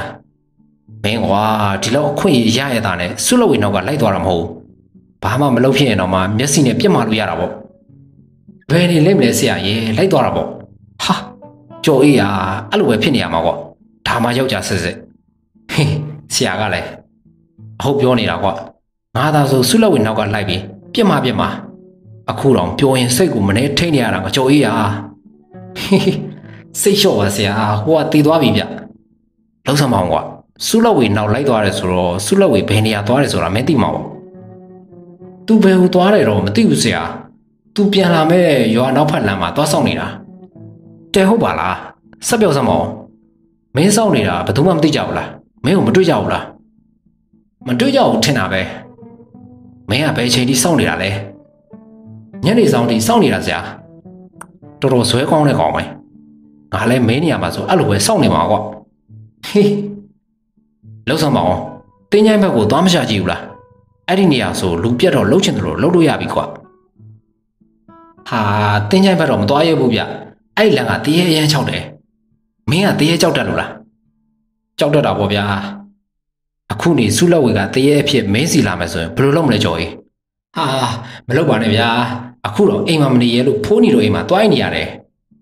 စုလက်ဝေသေးတာမင်းနဲ့ပါဆိုင်လို့ကြောက်နေရတာလဲကွာဟိုကမင်းကိုစိတ်တော့ဝင်စားမှာမဟုတ်ဘူးရွာမှာလူသိရင်ကျွန်တော်မနေရဘူးဗျခွေးဥရင်လည်းကြောက်တယ်ဟာဟာတတိကကောင်းပါကွာလုံးစမ်းမအောင်အဲ့ဒီနေရာကဘယ်အချိန်ပြန်လာပြီးဘသူတွေနဲ့တွေ့ခဲ့သေးလဲအဲ့ဒီနေရာကမမောင်ငင်ပြန်လာတယ်ဆရာ အဲလမ်းမှာတော့ဆရာကြီးဦးကောင်းစံနဲ့တွေ့ခဲ့တယ်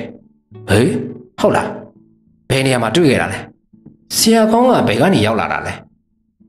ဆရာကြီးကစက်ပိန်ထားပြီးတင်းကြိုင်ဘက်ကပြန်လာတာဆရာဟေးဟုတ်ပြီကျော်ကြီးဆက်ပြောစမ်းကွာအဲ့ဒီနေရာကနေပြန်ခါနီးမှာလူတယောက်ဆက်ပိန်ထမ်းပြီးလာနေတာတွေ့လို့ကြည့်လိုက်တော့ဆရာကြီးဦးကောင်းစံဖြစ်နေတာတွေ့ရတယ်ဆရာကောင်းကမင်းကိုမတွေ့ဘူးလား တွေ့လို့ပဲသူ့ဆက်ပိန်ကိုထမ်းခိုင်းလို့ကျွန်တော်မှမူးမူးနဲ့ထမ်းဖို့ခဲ့ရသေးတယ်အေးဟုတ်ပြီကျော်ကြီးဆက်ပိန်ကိုဘယ်အထိထမ်းဖို့ပေးခဲ့ရလဲကျွဲလူကသူ့အိမ်ကိုဆက်ပိန်ပို့ပေးဖို့ပြောပြီးသူကဆက်သွားရွာဘက်ကိုပြန်ထွက်သွားတယ်အဲ့ဒီအချိန်ကဘယ်နှစ်နာရီလောက်ရှိမယ်ထင်လဲကျော်ကြီးမင်းနည်းနည်းလောက်ခက်မှန်းကြည့်စမ်းကွာအမ်နေဆောင်ကစားဆိုတော့9နာရီကျော်6နာရီလောက်တော့ရှိမယ်ထင်တယ်ဆရာရပြီကျော်ကြီး ဒီလိုလုပ်ကွာငါ့ကိုပြောခဲ့တဲ့အတိုင်းအရှိကတောင်မိုးစီမှာပြောပြပေးဘာမှမကြောက်နဲ့ကျွန်တော်ဖမ်းမလို့လားဆရာဘယ်ကလာဖမ်းရမှာလဲကြော်အေးဟာမင်းကိုကျေးဇူးတင်လို့လို့ဆိုင်ကောင်းကောင်းခေါ်သွားပြီးအရက်လည်းတိုက်မယ်စားကျင်တာကျွေးမယ်အရက်ကောင်းကောင်းတစ်လုံးနဲ့ဝဲပေးလိုက်မယ်ဟာတကယ်လားဆရာငါကလိန်ပြောရမလားကြော်ကြီးဟာတခုတော့ရှိတယ်အခုမင်းနဲ့ငါတို့ပြောဆိုခဲ့တာဆိုတာတွေ့ခဲ့တယ်ဆိုတာဘသူကမှမပြောမိစေနဲ့စိတ်ကြပါဆရာ ကြော်အေးနှုတ်လုံပါတယ်လာကြော်ကြီးငါနဲ့လိုက်ခဲ့အရှိကစပွဲမှာငါ့ကိုပြောဆိုခဲ့တဲ့အတိုင်းပြောပြလိုက်စမ်းကွာမင်းကိုကျေးဇူးတင်တယ်ဟုတ်ကဲ့ဆရာခြေတော့ကိုကန်လှုပ်လိုက်သလိုခံစားရရဦးကောင်းဆန်အဲ့ရမှာလန့်လို့ပြီးငုတ်တုတ်ထားတိုင်လိုက်ပါတယ်နှာခေါင်းထဲမှာအပုံနှံတစ်ခုခုကိုစူးစူးဝါးဝါရနေသဖြင့်နှာခေါင်းကိုပစိုးစားဖြင့်ပိတ်ထားလိုက်ပါတယ်ထိုချိန်မှာပဲခြေနှောင်ကျိုးများပြုတ်ထွက်သွားသဖြင့်ခြေနှောင်ကဦးကောင်းဆန်ကိုပိုက်ကွန်တဲ့ပွဲဖုံးအုပ်သွားပါတယ်ဘသူလဲ ဘသူလှုပ်တာလဲဟဲ့ခြေနှောင်ထဲမှာအတင်းယုံထွက်ရင်အော်ဟစ်မိမ့်မြတ်နေတဲ့ဦးကောင်းဆန်ရဲ့နားထဲမှာနာမည်ခေါ်နေတဲ့အတန်ကိုပြပြတတ်တကြားနေရပါတယ်ဦးကောင်းဆန်တားဖြစ်သူကလည်းယမနေ့ညကမှခရီးထွက်သွားသဖြင့်ဦးကောင်းဆန်တယောက်တည်းသာရှိနေပါတယ်အပုံနှံကပိုးရီဆိုးရလာပြီးခန္ဓာကိုယ်အနှံ့ပိုးကောင်များတက်တယ်လို့လှုပ်လှုပ်ရွရွခံစားနေရသဖြင့်လက်ဖြစ်ပုတ်တက်ပြီးမီးကလုတ်ရှိရသူအမြန်ပြေးကမီးဖွင့်လိုက်ပါတယ် အမလေးဗျာလောက်ကြပါဦးလောက်လောက်လို့ကိုပေါ်မှလောက်များကိုခါချလိုက်တဲ့အခါကျမ်းမြေပေါ်သို့ကျသွားတဲ့လောက်များကချက်ချင်းပျောက်ကွယ်သွားကြတာကိုမြင်လိုက်ရသဖြင့်ကြောက်လန့်ပြီးအိမ်ပေါ်မှဆင်းပြေးပါတော့တယ်ချမ်းမြေဘက်သို့ရောက်တော့လေဦးကောင်းဆိုင်ရဲ့နားထဲမှာနမဲခေါ်တန်ကိုပြပြတတ်တကြားနေရပါတယ်ခန္ဓာကိုယ်ပေါ်ကိုစမ်းသက်ကြည့်လိုက်တဲ့အခါလောက်ကောင်များမရှိတော့သဖြင့်စိတ်အေးသွားရပါတယ်ဆုလဝေကအညိုးဖြင့်ချောက်လက်နေပြီဖြစ်ကြောင်းဦးကောင်းဆန်သိနေပါတယ်သွေးသားဆန္ဒကိုမလွန်ဆန်နိုင်တော့သဖြင့်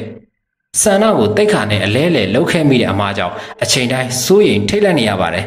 ဆုလဝေရဲ့အလောင်းအားရှာတွေ့ခဲ့တဲ့နေ့ကဦးကောင်းဆန်ရွာမှာမနေရသဖြင့်မြို့ပေါ်သို့ရှောင်ထွက်သွားခဲ့ရပါတယ်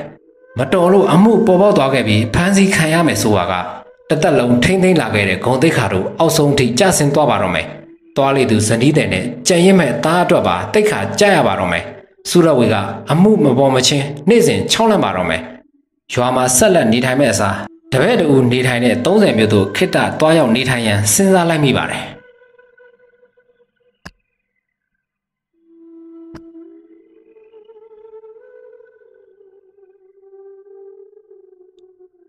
အမလေးသမီးလေးရဲ့အမေရင်ကျိုးရကြီးရဲ့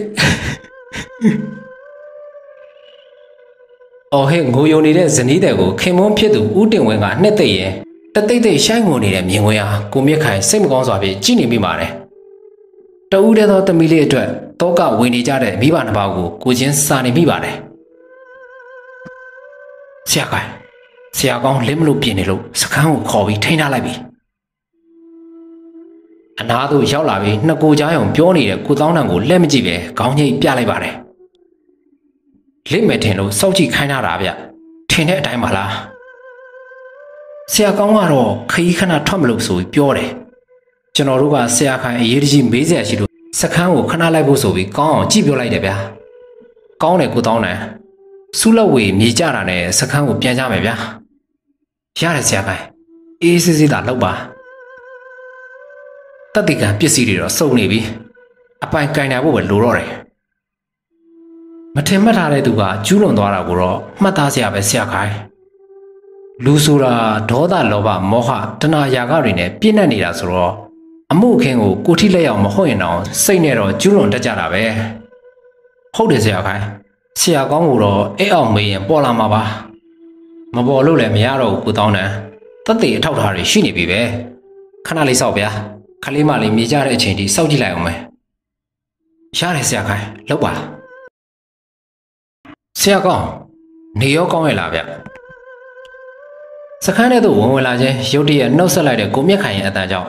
တောင်မှုစပွဲကုံရှိမှကလတ်ထိုင်မှာကြောပေးထိုင်နေတဲ့ဦးကောင်းဆန်အထိတ်တလန့်ဖြစ်နောက်သို့လှည့်ကြည့်လိုက်ပါတယ်နေနေကောင်းနေကောင်းပါတယ်ဗျ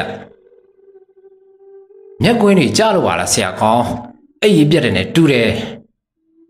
အေးကတော့တိတ်မဝပါဘူးဗျာသားတော်မောင်ပြန်မရောက်သေးလို့စိတ်ပူနေရတယ်အိတ်မရပါဘူးဟုတ်လားလာဗျာကျွန်တော်ယုံကန်နဲ့သွားကြရအောင် ကိုတောင်းတော်မှာလာခဲ့ဗျာအေးစစ်စစ်စကားပြောကြတာပေါ့လက်ဖက်ရည်နဲ့မုတ်ဒီမှားပေးကြပါဦးရုံငန်းထဲသို့ဝင်သွားတဲ့ကိုမြက်ခိုင်ရဲ့အနောက်မှာဦးကောင်းစံနဲ့ကိုတောင်းတန်တို့ဝင်လိုက်သွားကြပါတယ်ထိုင်ကြဗျာလက်ဖက်ရည်နဲ့မုတ်ဒီမှားထားတယ်ရပါတယ်ဘူကြီး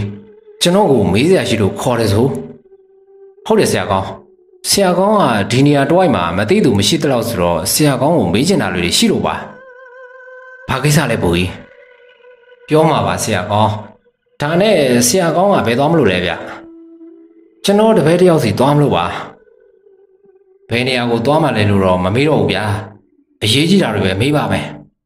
ဟုတ်ကဲ့မေးပါဘိုးကြီးကျွန်တော်တို့၃ယောက်ကိုထေးဝင်းရဲ့လက်ဖက်ရည်ဆိုင်မှာစုံခဲ့တဲ့နေ့ကိုဆရာကောင်းမှတ်မိအောင်ပါပေါ့မှတ်မိပါတယ်ဘိုးကြီးစူးလို့ဝေပျောက်သွားတာအဲ့ဒီနေ့ပဲဗျဗျာ ဆရာကောင်းအဲ့ဒီနေ့ကပြန်လာတော့ဘယ်ဆက်သွားသေးလဲဘာတွေလုပ်သေးလဲကျွန်ကျွန်တော်ဆက်သွားကညီမစီသွားပြီးဆက်သွားကလူနာတွေကိုစေကူပေးပါတယ်ကျွန်တော်တို့၃ယောက်လက်ဖက်ရည်ဆိုင်ကပြန်လာတဲ့အချိန်ကမနက်7:00နာရီကျော်ပဲရှိသေးတယ်နော်ဟုတ်ဟုတ်ပါတယ်ဆက်သွားမှာဘယ်အချိန်ကြီးရှိနေရလဲဘယ်အချိန်ပြန်လဲဆရာကောင်းအဲအဲ့ဒီနေ့ကဆက်သွားမှာပဲညအိတ်တယ်ဗျ ဒါဆိုဆက်သွားရွာကနေဘယ်မှမသွားဘူးပေါ့ဟုတ်ကဲ့မသွားပါဘူးဆက်သွားမှရှိတယ်ကျွန်တော်ညမကိုမေးကြည့်ပါဖိုးကြီးသူ့အိမ်မှာပဲညအိတ်တာပါရွာကလူတွေလည်းသိကြပါတယ်ဆရာကောင်းမှန်မှန်ဖြေနော်ဆက်သွားရွာမှာကျွန်တော်စုံစမ်းပြီးသွားပြီဒေါ်အေးမြိုင်ဆိုတဲ့အမေကြီးကိုစေးကူပေးရင်စေးတစ်မျိုးလိုလိုရွာပြန်ယူတယ်မဟုတ်လားဗျာကိုမြင့်ခိုင်ရဲ့မိကုန်းကိုကြားလိုက်ရတဲ့အခါဦးကောင်းစံစက်ကနေတုံသွားပါတယ် ကျွန်တော်မေးတာကိုအမှန်တိုင်းပဲဖြေပါဆရာကောင်းလိန်ညာဖို့မကြိုးစားပါနဲ့ကျွန်တော်မှာတက်တည်အထောက်ထားတွေရှိပါတယ်ဟုတ်ဟုတ်ပါတယ်ကျွန်တော်ခဏပြန်ယူပါတယ်ဆရာကောင်းကျွဲလူကိုပြန်တဲ့လမ်းကရွာနောက်ဘက်တုံ့တန်သွားတဲ့လမ်းမဟုတ်လားဖြက်လမ်းဆိုတော့ပုံနီးတယ်လေမမဟုတ်ပါဘူးအဲ့ဒီလမ်းကလမ်းဆိုလို့တာလမ်းမကြီးကနေပဲပြန်လာပါကျွန်တော်စပိန်လဲကျသွားတဲ့နေရာကရှေ့မီကွက်ရဲ့ဘဲအဖုံးရဲ့ ဗရိတ်တုံးလေးတစ်တုံးရဲ့ပြန်ရှာတွေ့တယ်ဗျာဟောဒီမှာကြည့်ပါဦးဗျာမီဒီရှေ့အဖုံးနဲ့ဘဲအဖုံးရဲ့ဗရိတ်တုံးရဲ့ရှာတွေ့ခဲ့တဲ့နေရာကစုလဝေတို့တမီးစာချစ်တင်တော့တဲ့နေရာနဲ့ခိုင်း20ကျော်လောက်ပဲဝေးတယ်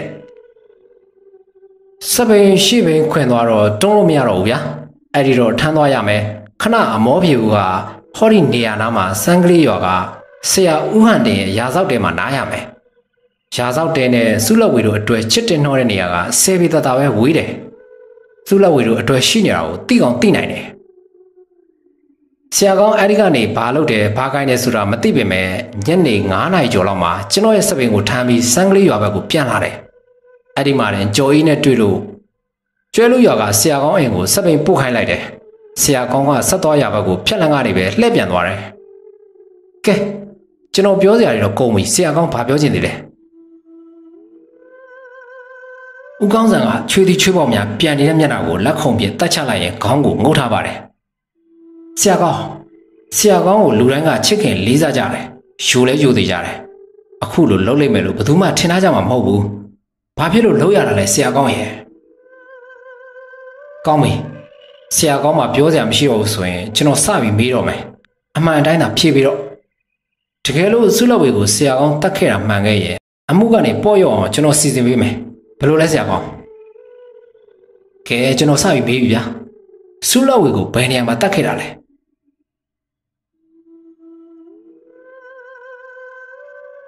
ဦးကောင်းစံဗျာဦးကောင်းစံရဲ့နားထဲမှာအမျိုးသမီးအတန်တစ်ခုကိုကြားလိုက်ရသဖြင့်ကိုမြင့်ခိုင်ကိုအထိတ်တလန့်ဖြင့်မောကြည့်လိုက်ပါတယ်။ဘာဖြစ်တာလဲဆရာကောင်း။ကျွန်ကျွန်တော်နားထဲနားထဲမှာကျွန်တော်ကိုနာမည်ခေါ်လိုက်တဲ့မိန်းမတစ်ယောက်အတန်ကြားလိုက်လို့ပါ။ ကြားမှာပေါ့ဗျာ။ဆရာကောင်းသူ့ကိုတတ်ခဲ့တယ်ဆိုတာဆုလဝေကကျွန်တော်ကိုလာပြောပြီးသားပါ။ဒါကြောင့်ဆရာကောင်းကိုအမှန်တိုင်းပြောစီခြင်းလို့တတိလာပေးတာနေမှာပေါ့။ဗျာ။ဆရာကောင်းကိုလေးစားလို့ဆရာကောင်းအနေနဲ့မလုပ်တော့ဘူးထင်လို့မစုံစမ်းခဲ့တာဆရာကောင်းအမှန်တမ်းဖွင့်ပြောသေးသေးဆုလဝေကဆရာကောင်းကိုဒုက္ခကောင်းကောင်းပေးလိုက်မယ်ဆရာကောင်းယုံတာမယုံတာတော့ကျွန်တော်မသိဘူးသူ့ကိုတတ်ခဲ့တဲ့ဥကောင်းဆန်ကို ဖမ်းမပေးရကောင်းလားဆိုပြီးကျွန်တော်အိမ်ကနာရီရောပကြီးကားရောဆွဲကြတယ်ကျွန်တော်ကိုကိုထင်ပြတယ်ဗျာဟုတ်ပြီလားဗျာဘာလဲဆရာကောင်းမယုံလို့လားဗျယုံယုံပါတယ်အမှန်တမ်းပြောပြပါလားဆရာကောင်းဆရာကောင်းဖွင့်မပြောပေးမယ်တရားခံဘသူဆိုတာကျွန်တော်တို့အားလုံးသိနေကြပြီတက်တေကံပစ္စည်းအထောက်ထားတွေလည်းရပြီပါပြီ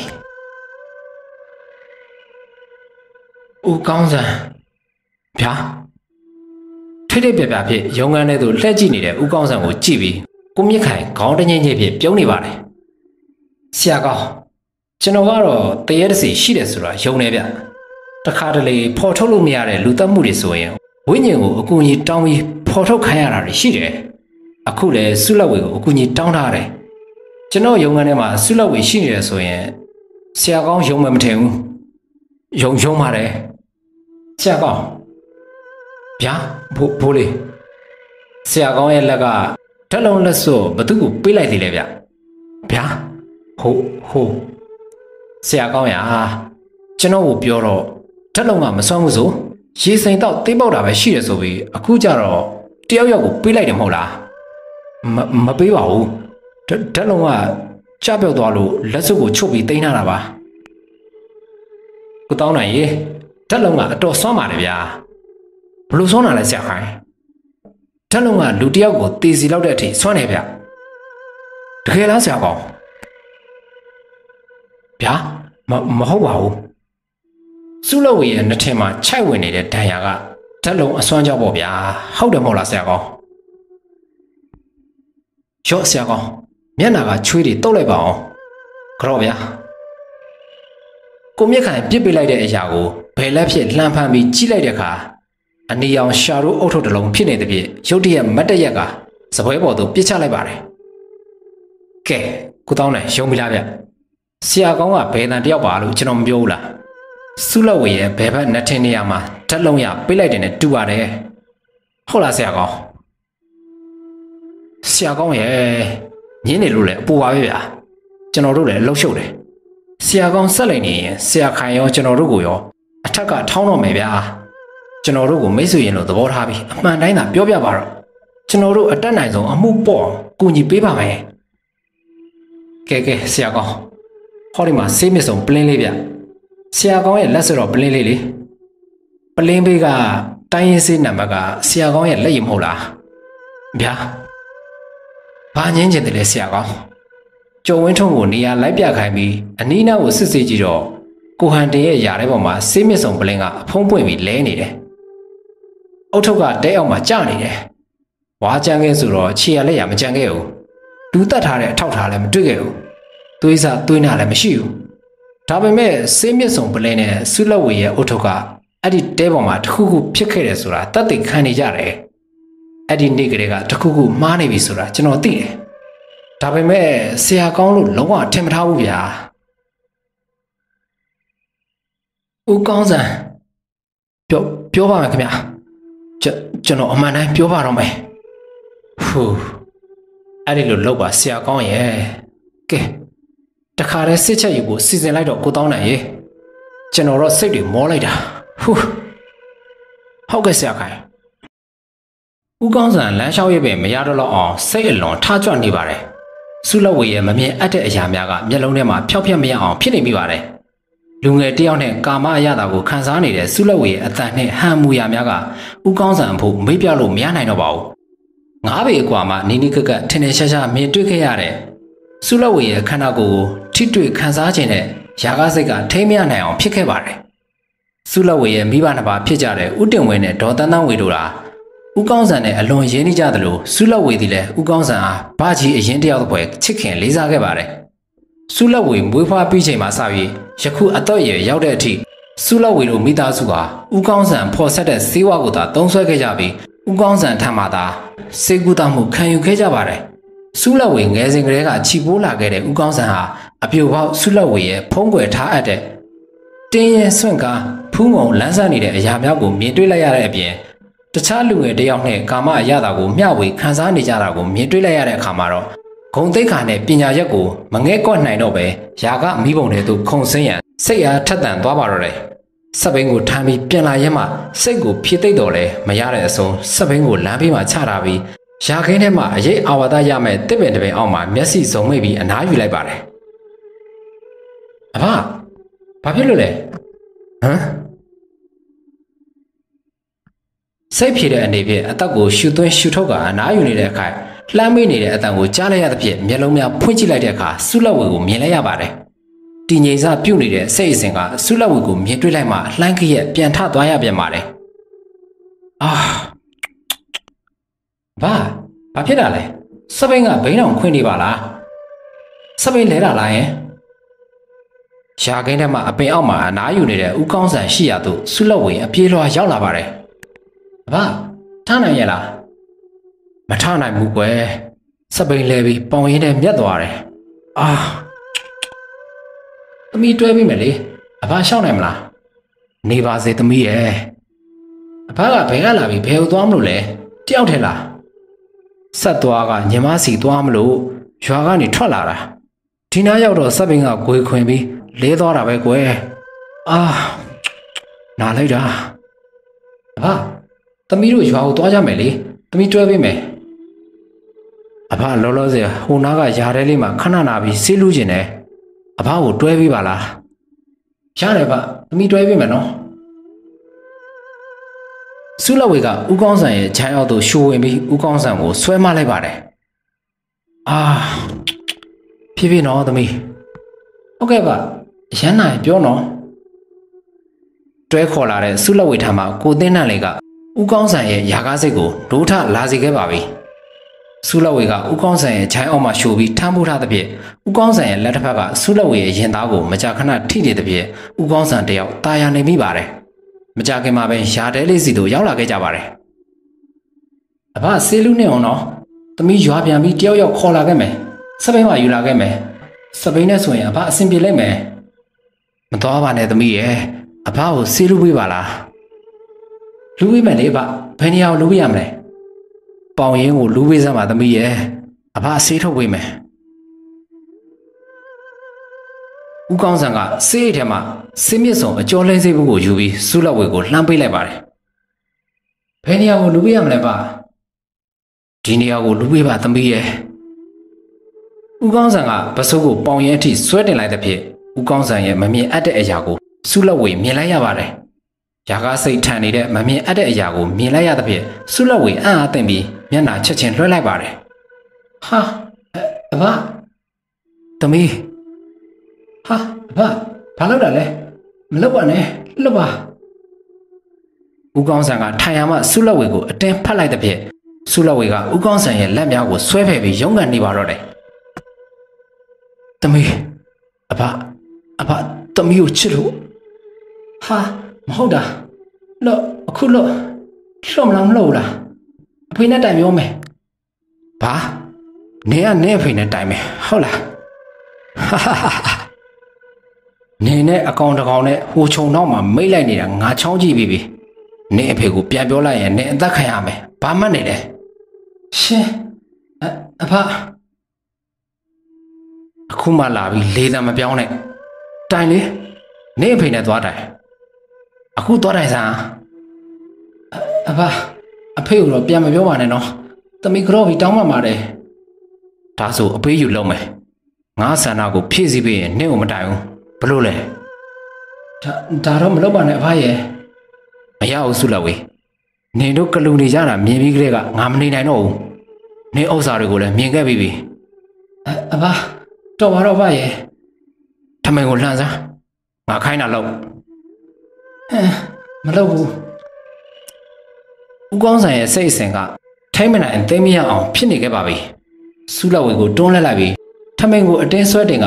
ဆုလဝေရဲ့ရင်သားများကိုကြမ်းတမ်းစွာဆုပ်ကင်ပါတော့တယ်။ဆုလဝေကအတင်းယုံကန်ကဦးကောင်းဆန်ကိုတွန်းပယ်လိုက်တဲ့ဖြင့်ဦးကောင်းဆန်ပက်လက်လန်ကျသွားပါတယ်။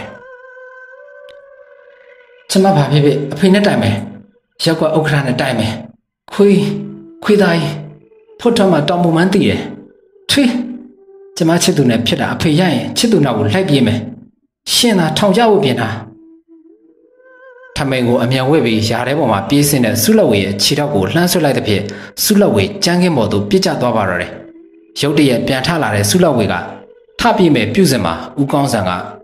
ဘယ်ဝိုင်းလက်သေးဖြင့်ဆုလဝေရဲ့နှထင်ကိုအာကုံထိုးချလိုက်ပါတော့တယ်။ နှထင်ကိုထိမှန်သွားတဲ့ပြင်းထန်တဲ့လက်သီးချက်ကြောင့်ဆုလဝေလဲကျသွားခြင်းမှာဦးကောင်းဆန်ကဆုလဝေရဲ့ထမိန်ကိုဆွဲလံပြီးကာမဆက်ဆံရန်ဟန်ပြလိုက်စမှာအသက်ရှူနေတာကိုမတွေ့ရပဲငြိမ်သက်နေသဖြင့်ထိတ်လန့်သွားမိပါတယ်။ဆုလဝေထံမှာအသက်ရှူတာမကြားရတော့တဲ့ဖြင့်စမ်းသက်ကြည့်ဟာဆုလဝေတယောက်အသက်ကင်းမဲ့နေပြီဖြစ်ကြောင်းသိလိုက်ရပါတော့တယ်။ကာမရာဂမီတောက်လောင်စဉ်ကအရာရာကိုစဉ်းစားဆင်ခြင်မှုကင်းမဲ့ခဲ့တော်လဲလူတယောက်ရဲ့အသက်ကိုအမှတ်မတင်တပ်ဖြတ်ခဲ့မိတဲ့အတွက်ဥကောင်းဆန်ကြောက်လန့်တောင်းလို့လာပါတယ်။ ယခုခါမှာဆုလဝေရဲ့ခန္ဓာကိုယ်ကရမတ်ထန်စရာမဟုတ်တော့ပဲထိတ်လန့်စရာအသွင်ဆောင်လာခဲ့ပါပြီ။ဆုလဝေရဲ့အလောင်းကိုဒီအတိုင်းထားပစ်ခဲ့ပါကလည်းဘလို့မှမဖြစ်နိုင်တဲ့ဖြင့်အလောင်းဖျောက်ပြနိုင်မယ့်နေရာကိုအပြေးလွှာရှာဖွေရပါတော့တယ်ရည်ရွယ်ချက်ကြောင့်မဟုတ်ပဲအမှတ်မတင်ဖြစ်ပျက်သွားတဲ့အခါမျိုးမှာခြေမကင်မိလက်မကင်မိဖြစ်တတ်တဲ့ထုံးစံအတိုင်းဥကောင်းစံတယောက်လည်းခြေမကင်မိလက်မကင်မိဖြစ်ပြီးတုံလို့ခြောက်ချနေပါတယ်နောက်ဆုံးမှာတင်ချိုင်းထဲမှာမြုပ်နှံဖျောက်ဖျက်ရန်စဉ်းစားလိုက်ပြီးဆုလက်ဝေရဲ့အလောင်းကိုထမ်းက တင်ချိုင်းထဲသို့တည်သွားပါတော့တယ်